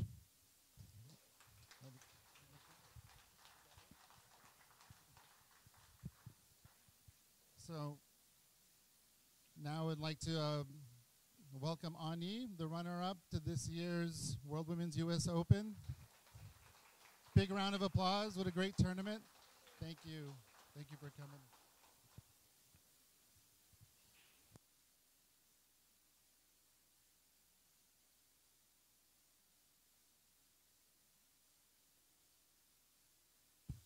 Thank you, Onyee.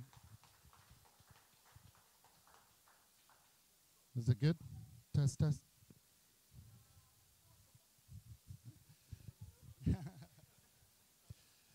so, how was your experience uh, playing the, for the first time at Ox Billiards? Uh, it's amazing because I know uh, in America, um, pool is very famous. But um, yeah, I didn't expect uh, we'll have such good condition table in here, so we enjoy a lot. And yeah, I enjoy this tournament as well, especially for thank you for the accommod uh, accommod thank you for the hospitality. thank you. Anything in Seattle that you really wanted to see and got a chance to see as a tourist? Actually we arrived a few days earlier because to get used to the jet lag. But uh, we've been to um, the Space Needle, which I, I think is amazing. So I think Ming, you should go there.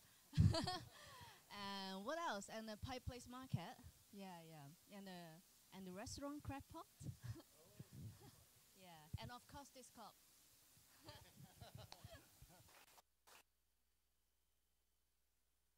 Thank you.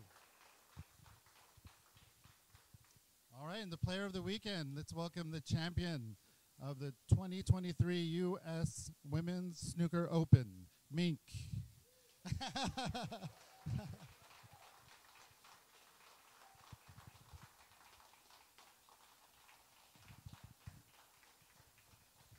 you go, Mink.